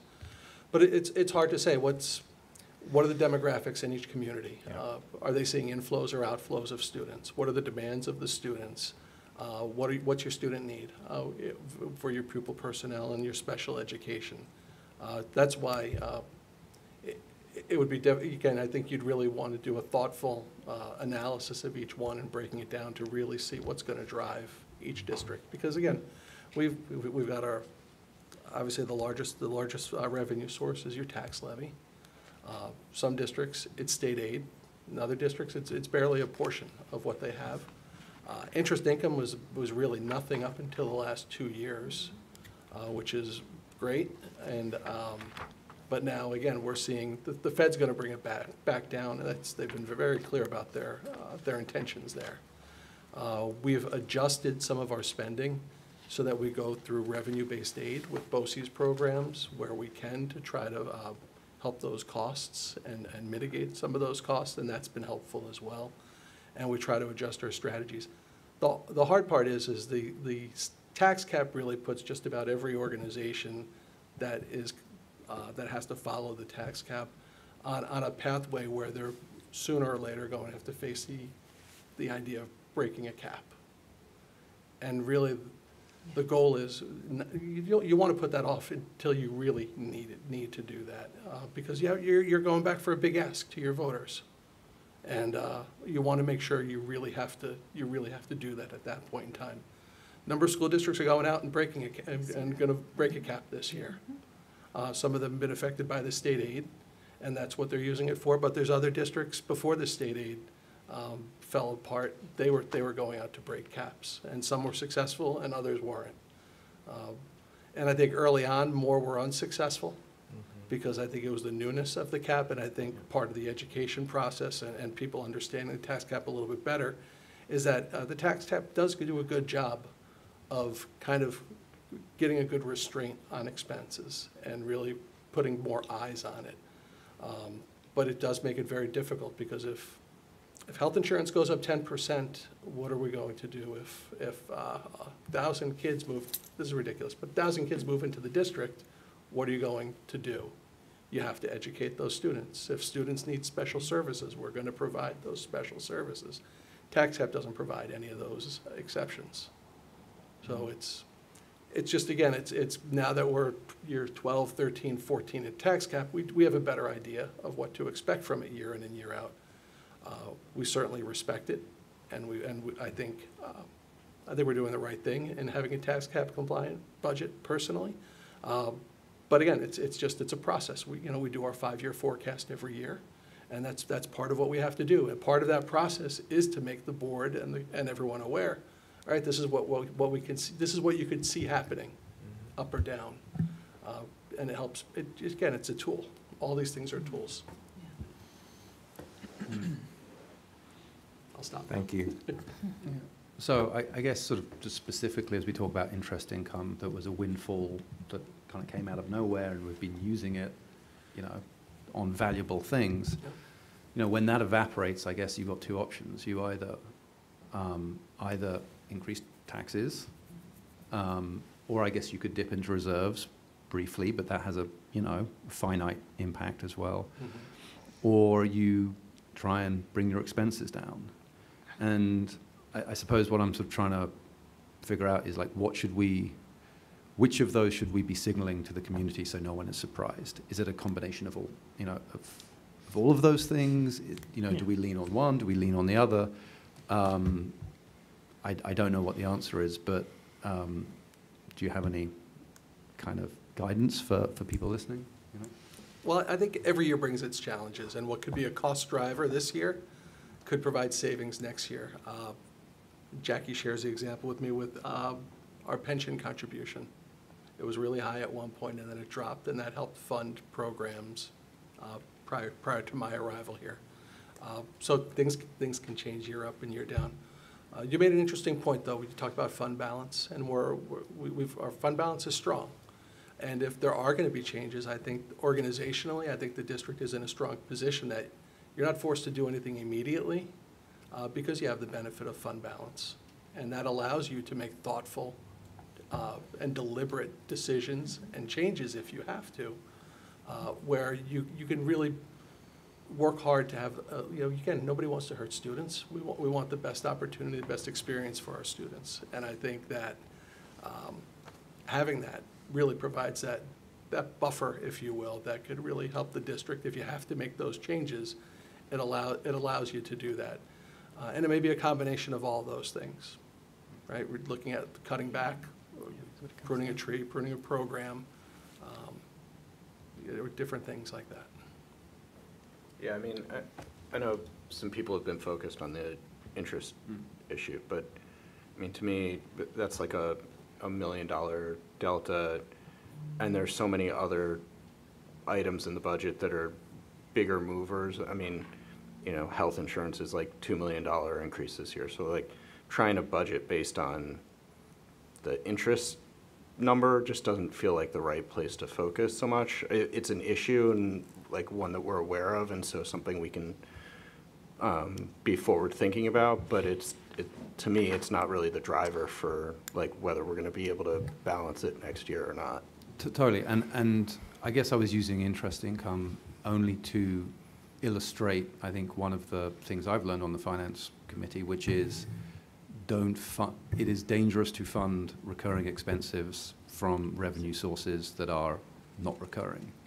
And whether that is interest, sure, interest income, I suppose, is just an example I use because it is so variable, right? I mean, it can change from month to month, from quarter to quarter. So I just use that as a particularly volatile um, revenue source, even though it's not that large. Um, I guess just the, you know, again, thematically funding, funding, you know, recurring expenses from revenue sources which you don't control or have a finite nature to them is is the kind of concept that I'm sort of poking at. Yeah. I guess, um, also thematically, um, when I think about the budget, you know, we've talked about this a bunch of times over the period, but, you know, we're talking eighty percent about people costs, and, you know, more than ninety percent of that is, or, you know, less than ten percent of that is administration, so the people who are actually interacting with our kids are ninety percent or more of that, so like, you know, un- unless people think that the right answer is, we're gonna, you know, really change the nature of the schools and cut program or not have, you know, there's not really much you can do on, most of those people are under union contracts, but like, you know, the alternatives would be cut program, like really fight with the teachers on their salary negotiations to a point that you're like really slashing things, in which case you're not gonna have a competitive school district in terms of, you know, getting good teachers. There are, um, there are constraints around what we can do to try and really, in the long term, like Jim was talking about, to stay under a two percent every year Yeah. tax cap budget. And so people have to be thoughtful about that and where we care about program, like you were saying about whether there are areas of the program that maybe are, are not um, as value add to the student body. And then that we have other things that we were talking about, you know, there are a lot of younger parents who would like to see um, more kindergarten classes, and that's not something that we had room for in this budget, but something that, you know, maybe we continue to think about, and if we want to do that, there's going to be a trade-off somewhere else. So this is all, in some ways, zero-sum, but, um, but trying to do the best we can with what we have. Yeah. Yeah, and I, and I- I think starting with our first public comment is a perfect example. Uh, Mr. Cinta. Yeah. Wonderful. I, I, I love listening to him because he's got such a rich history Yes. of the district.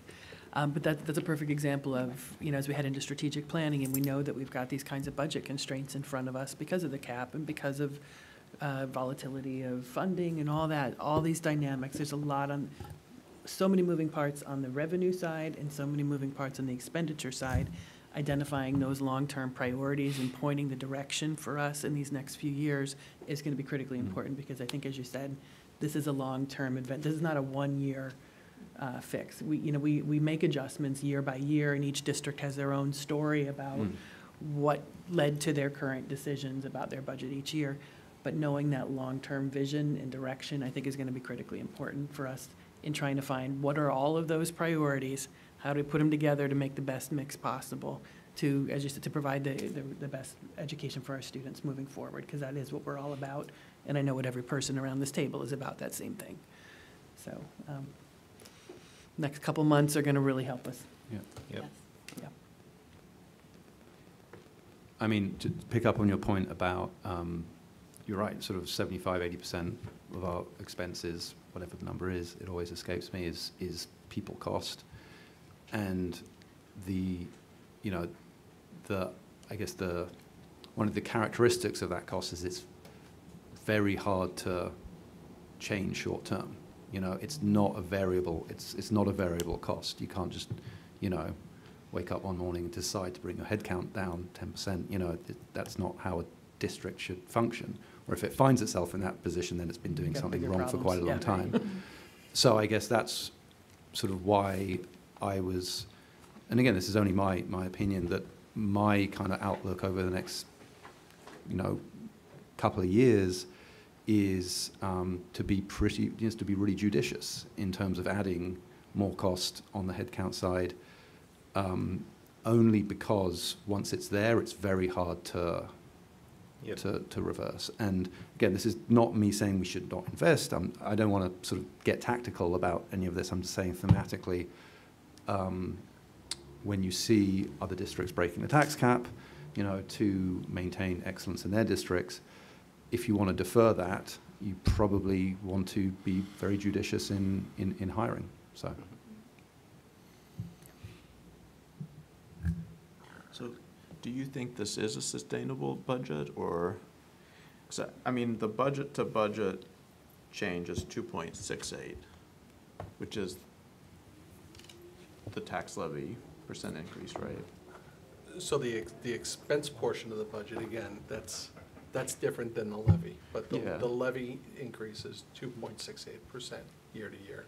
But the budget to budget change is two point six eight percent. Oh, actually. They wound up being the same They this did. year. But I mean, they Yeah, match, so they that's what I'm saying, match. it's, Yeah. in uh, that sense, it is, It, it was, I, I think, uh, last, in last year's budget, there was that two million dollars for capital expense, which is not in this year's budget. So, uh, I think if you want to do a, a- an apples to apples to compare, comparison, you'd really, uh, You'd have you to would take probably that be out. done Pull that that out. two Take that out. it's dollars. Okay. closer to, if you take that out, it's closer to 5%. okay, because the budget to actual is four point That's right, it eight is. eight. Yeah.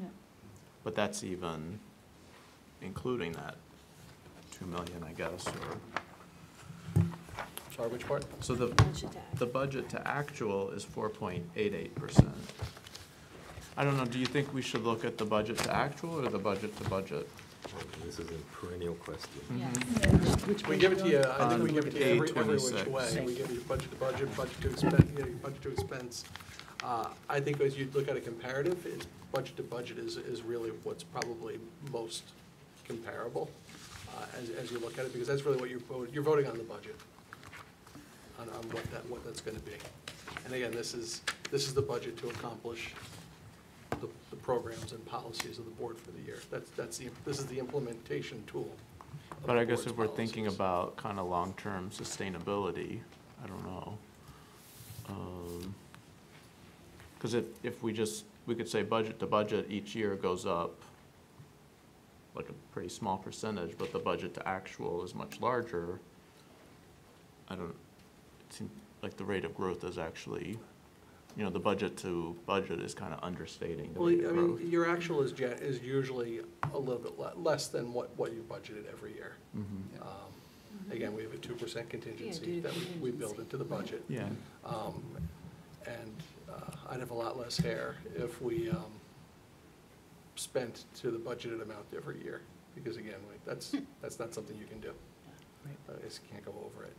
I guess I'm just thinking, because you said with the tax cap Mhm. environment, almost every government entity at some point will have to break the tax cap. So, like, does that mean, I mean, then that makes me start thinking, what year do we have to break the tax cap, or are we trying, like, is that, I guess that's our strategic question. Are we gonna plan at some point that we are gonna break this tax cap, or are we, is our strategic plan, you know, to somehow contain things and stay within the tax cap for the foreseeable future? That's certainly been our goal mm-hmm. every year, is to push that, To delay. continue to push and push and push and to avoid reaching that cliff as long as possible. I think the guidance from the board every year mm-hmm. uh, Is to is stay very, within. is very clear. Mm-hmm. Yeah. Tax cap compliant budget. Yep.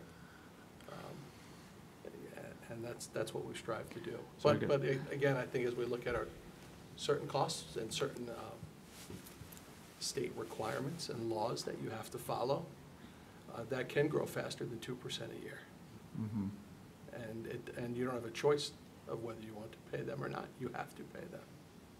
Yeah, Those- it, it kind of strikes me, because I've never thought of it this way, as, I, I'd be curious what econ- economists would say, but it's kind of a price control that, you know, I think my understanding is price controls don't work, and we've now set a price control on the price of public education, essentially.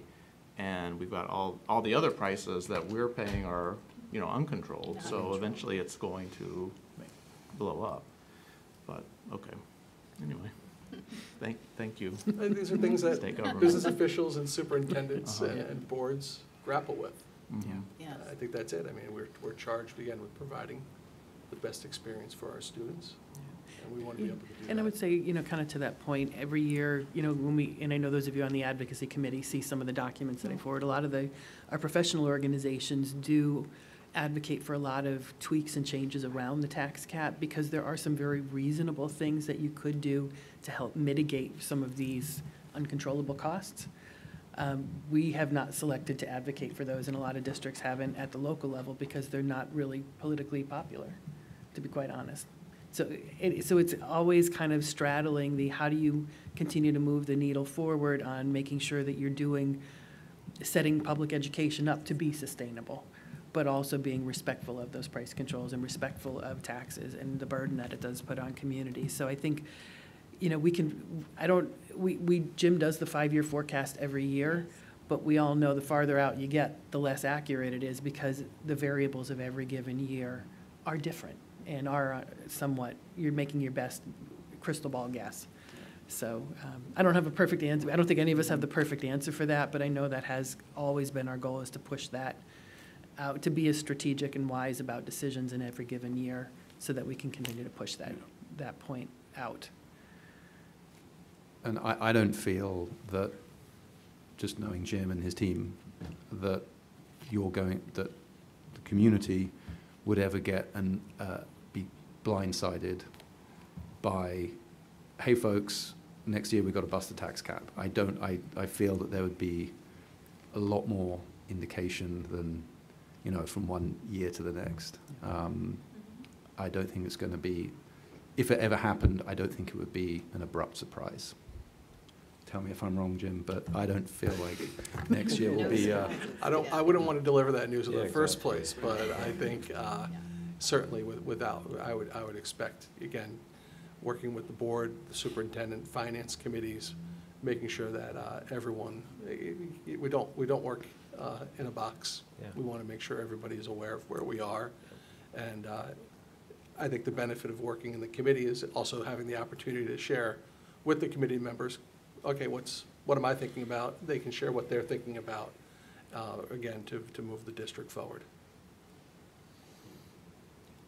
I guess, going back to the strategic plan, because for me, and looking at other, some other district strategic plans, mm-hmm. sometimes the financial part is, you know, one of the mm-hmm. pillars. Yes. And I think it has to, you know, the, the programmatic part mm-hmm. and the financial, you know, it has to fit together. Yeah. So maybe this strategic plan, you know, the, the financial part is, you know, just as important as the program, mm-hmm. programmatic part in yep. terms of sustainability. Mm-hmm. Yep. Well, thank you to the board yep. and the community, right? Yep. This is uh, this is the end of the review process. We're going to meet with, uh, again, Finance Committee, uh, thoughts, changes, and obviously, um, whether it's through the superintendent, the board members, to the, to the committee members, uh, and we'll try to communicate very clearly where the budget is uh, before the meeting on the Yeah. 17th. Have you set the finance committee date as yet? Uh, No, I was thinking probably a week from today, uh, but it's kind of polling the Depending on members to see where calendars. they are. We've got a week in between. Maybe the state budget will settle. We can always hope, It's possible, That would actually. be, yeah, that would be very helpful. maybe after the weekend. And, um, Yeah. and just wanted to thank Jim and Jackie and Dr. Champ for coming in on the last day of spring break to, to talk with us about this stuff. Um, We Okay, appreciate I only came in virtually, but Yeah, you're but welcome. Regular day for the business office.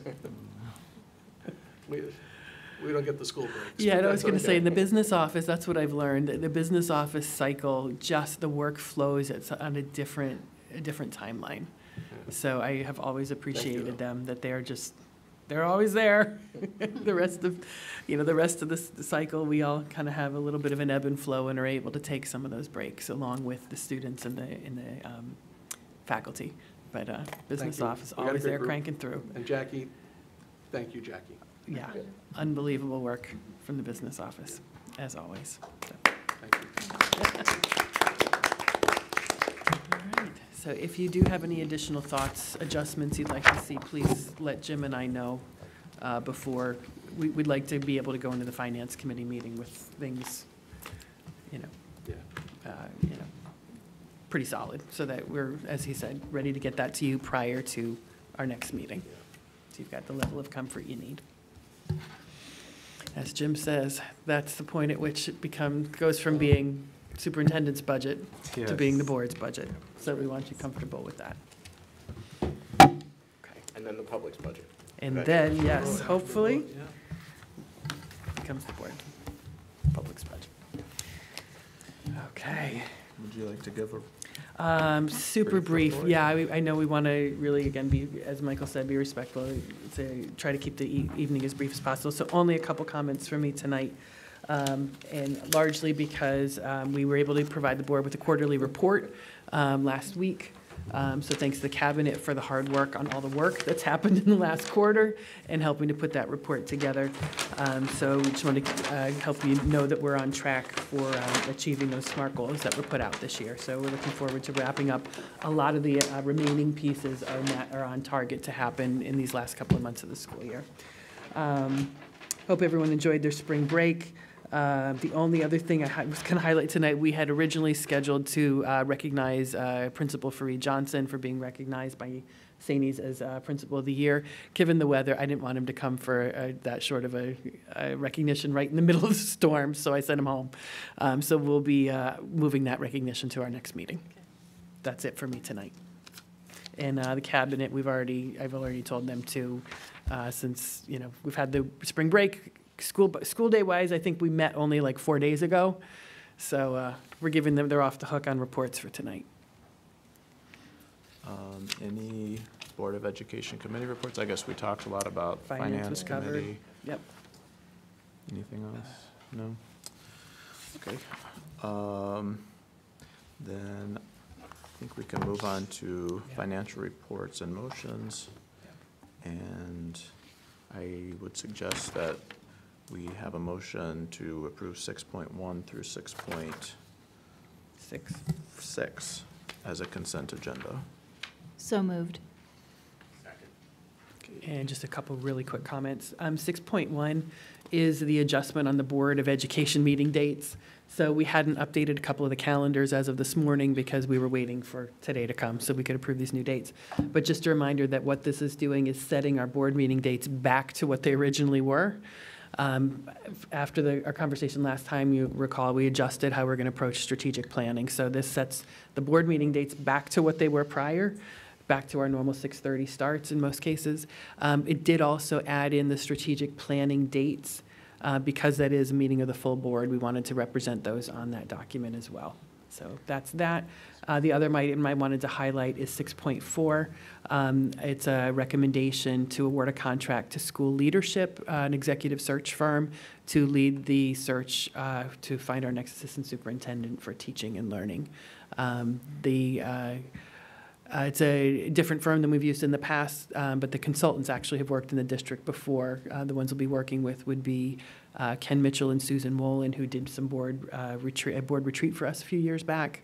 Uh, I think prior to any of the current board members being on, but they, so they, they're familiar with the district, um, and they are very familiar with Westchester and with the, um, they work with Tri-States, they work with Manhattanville College.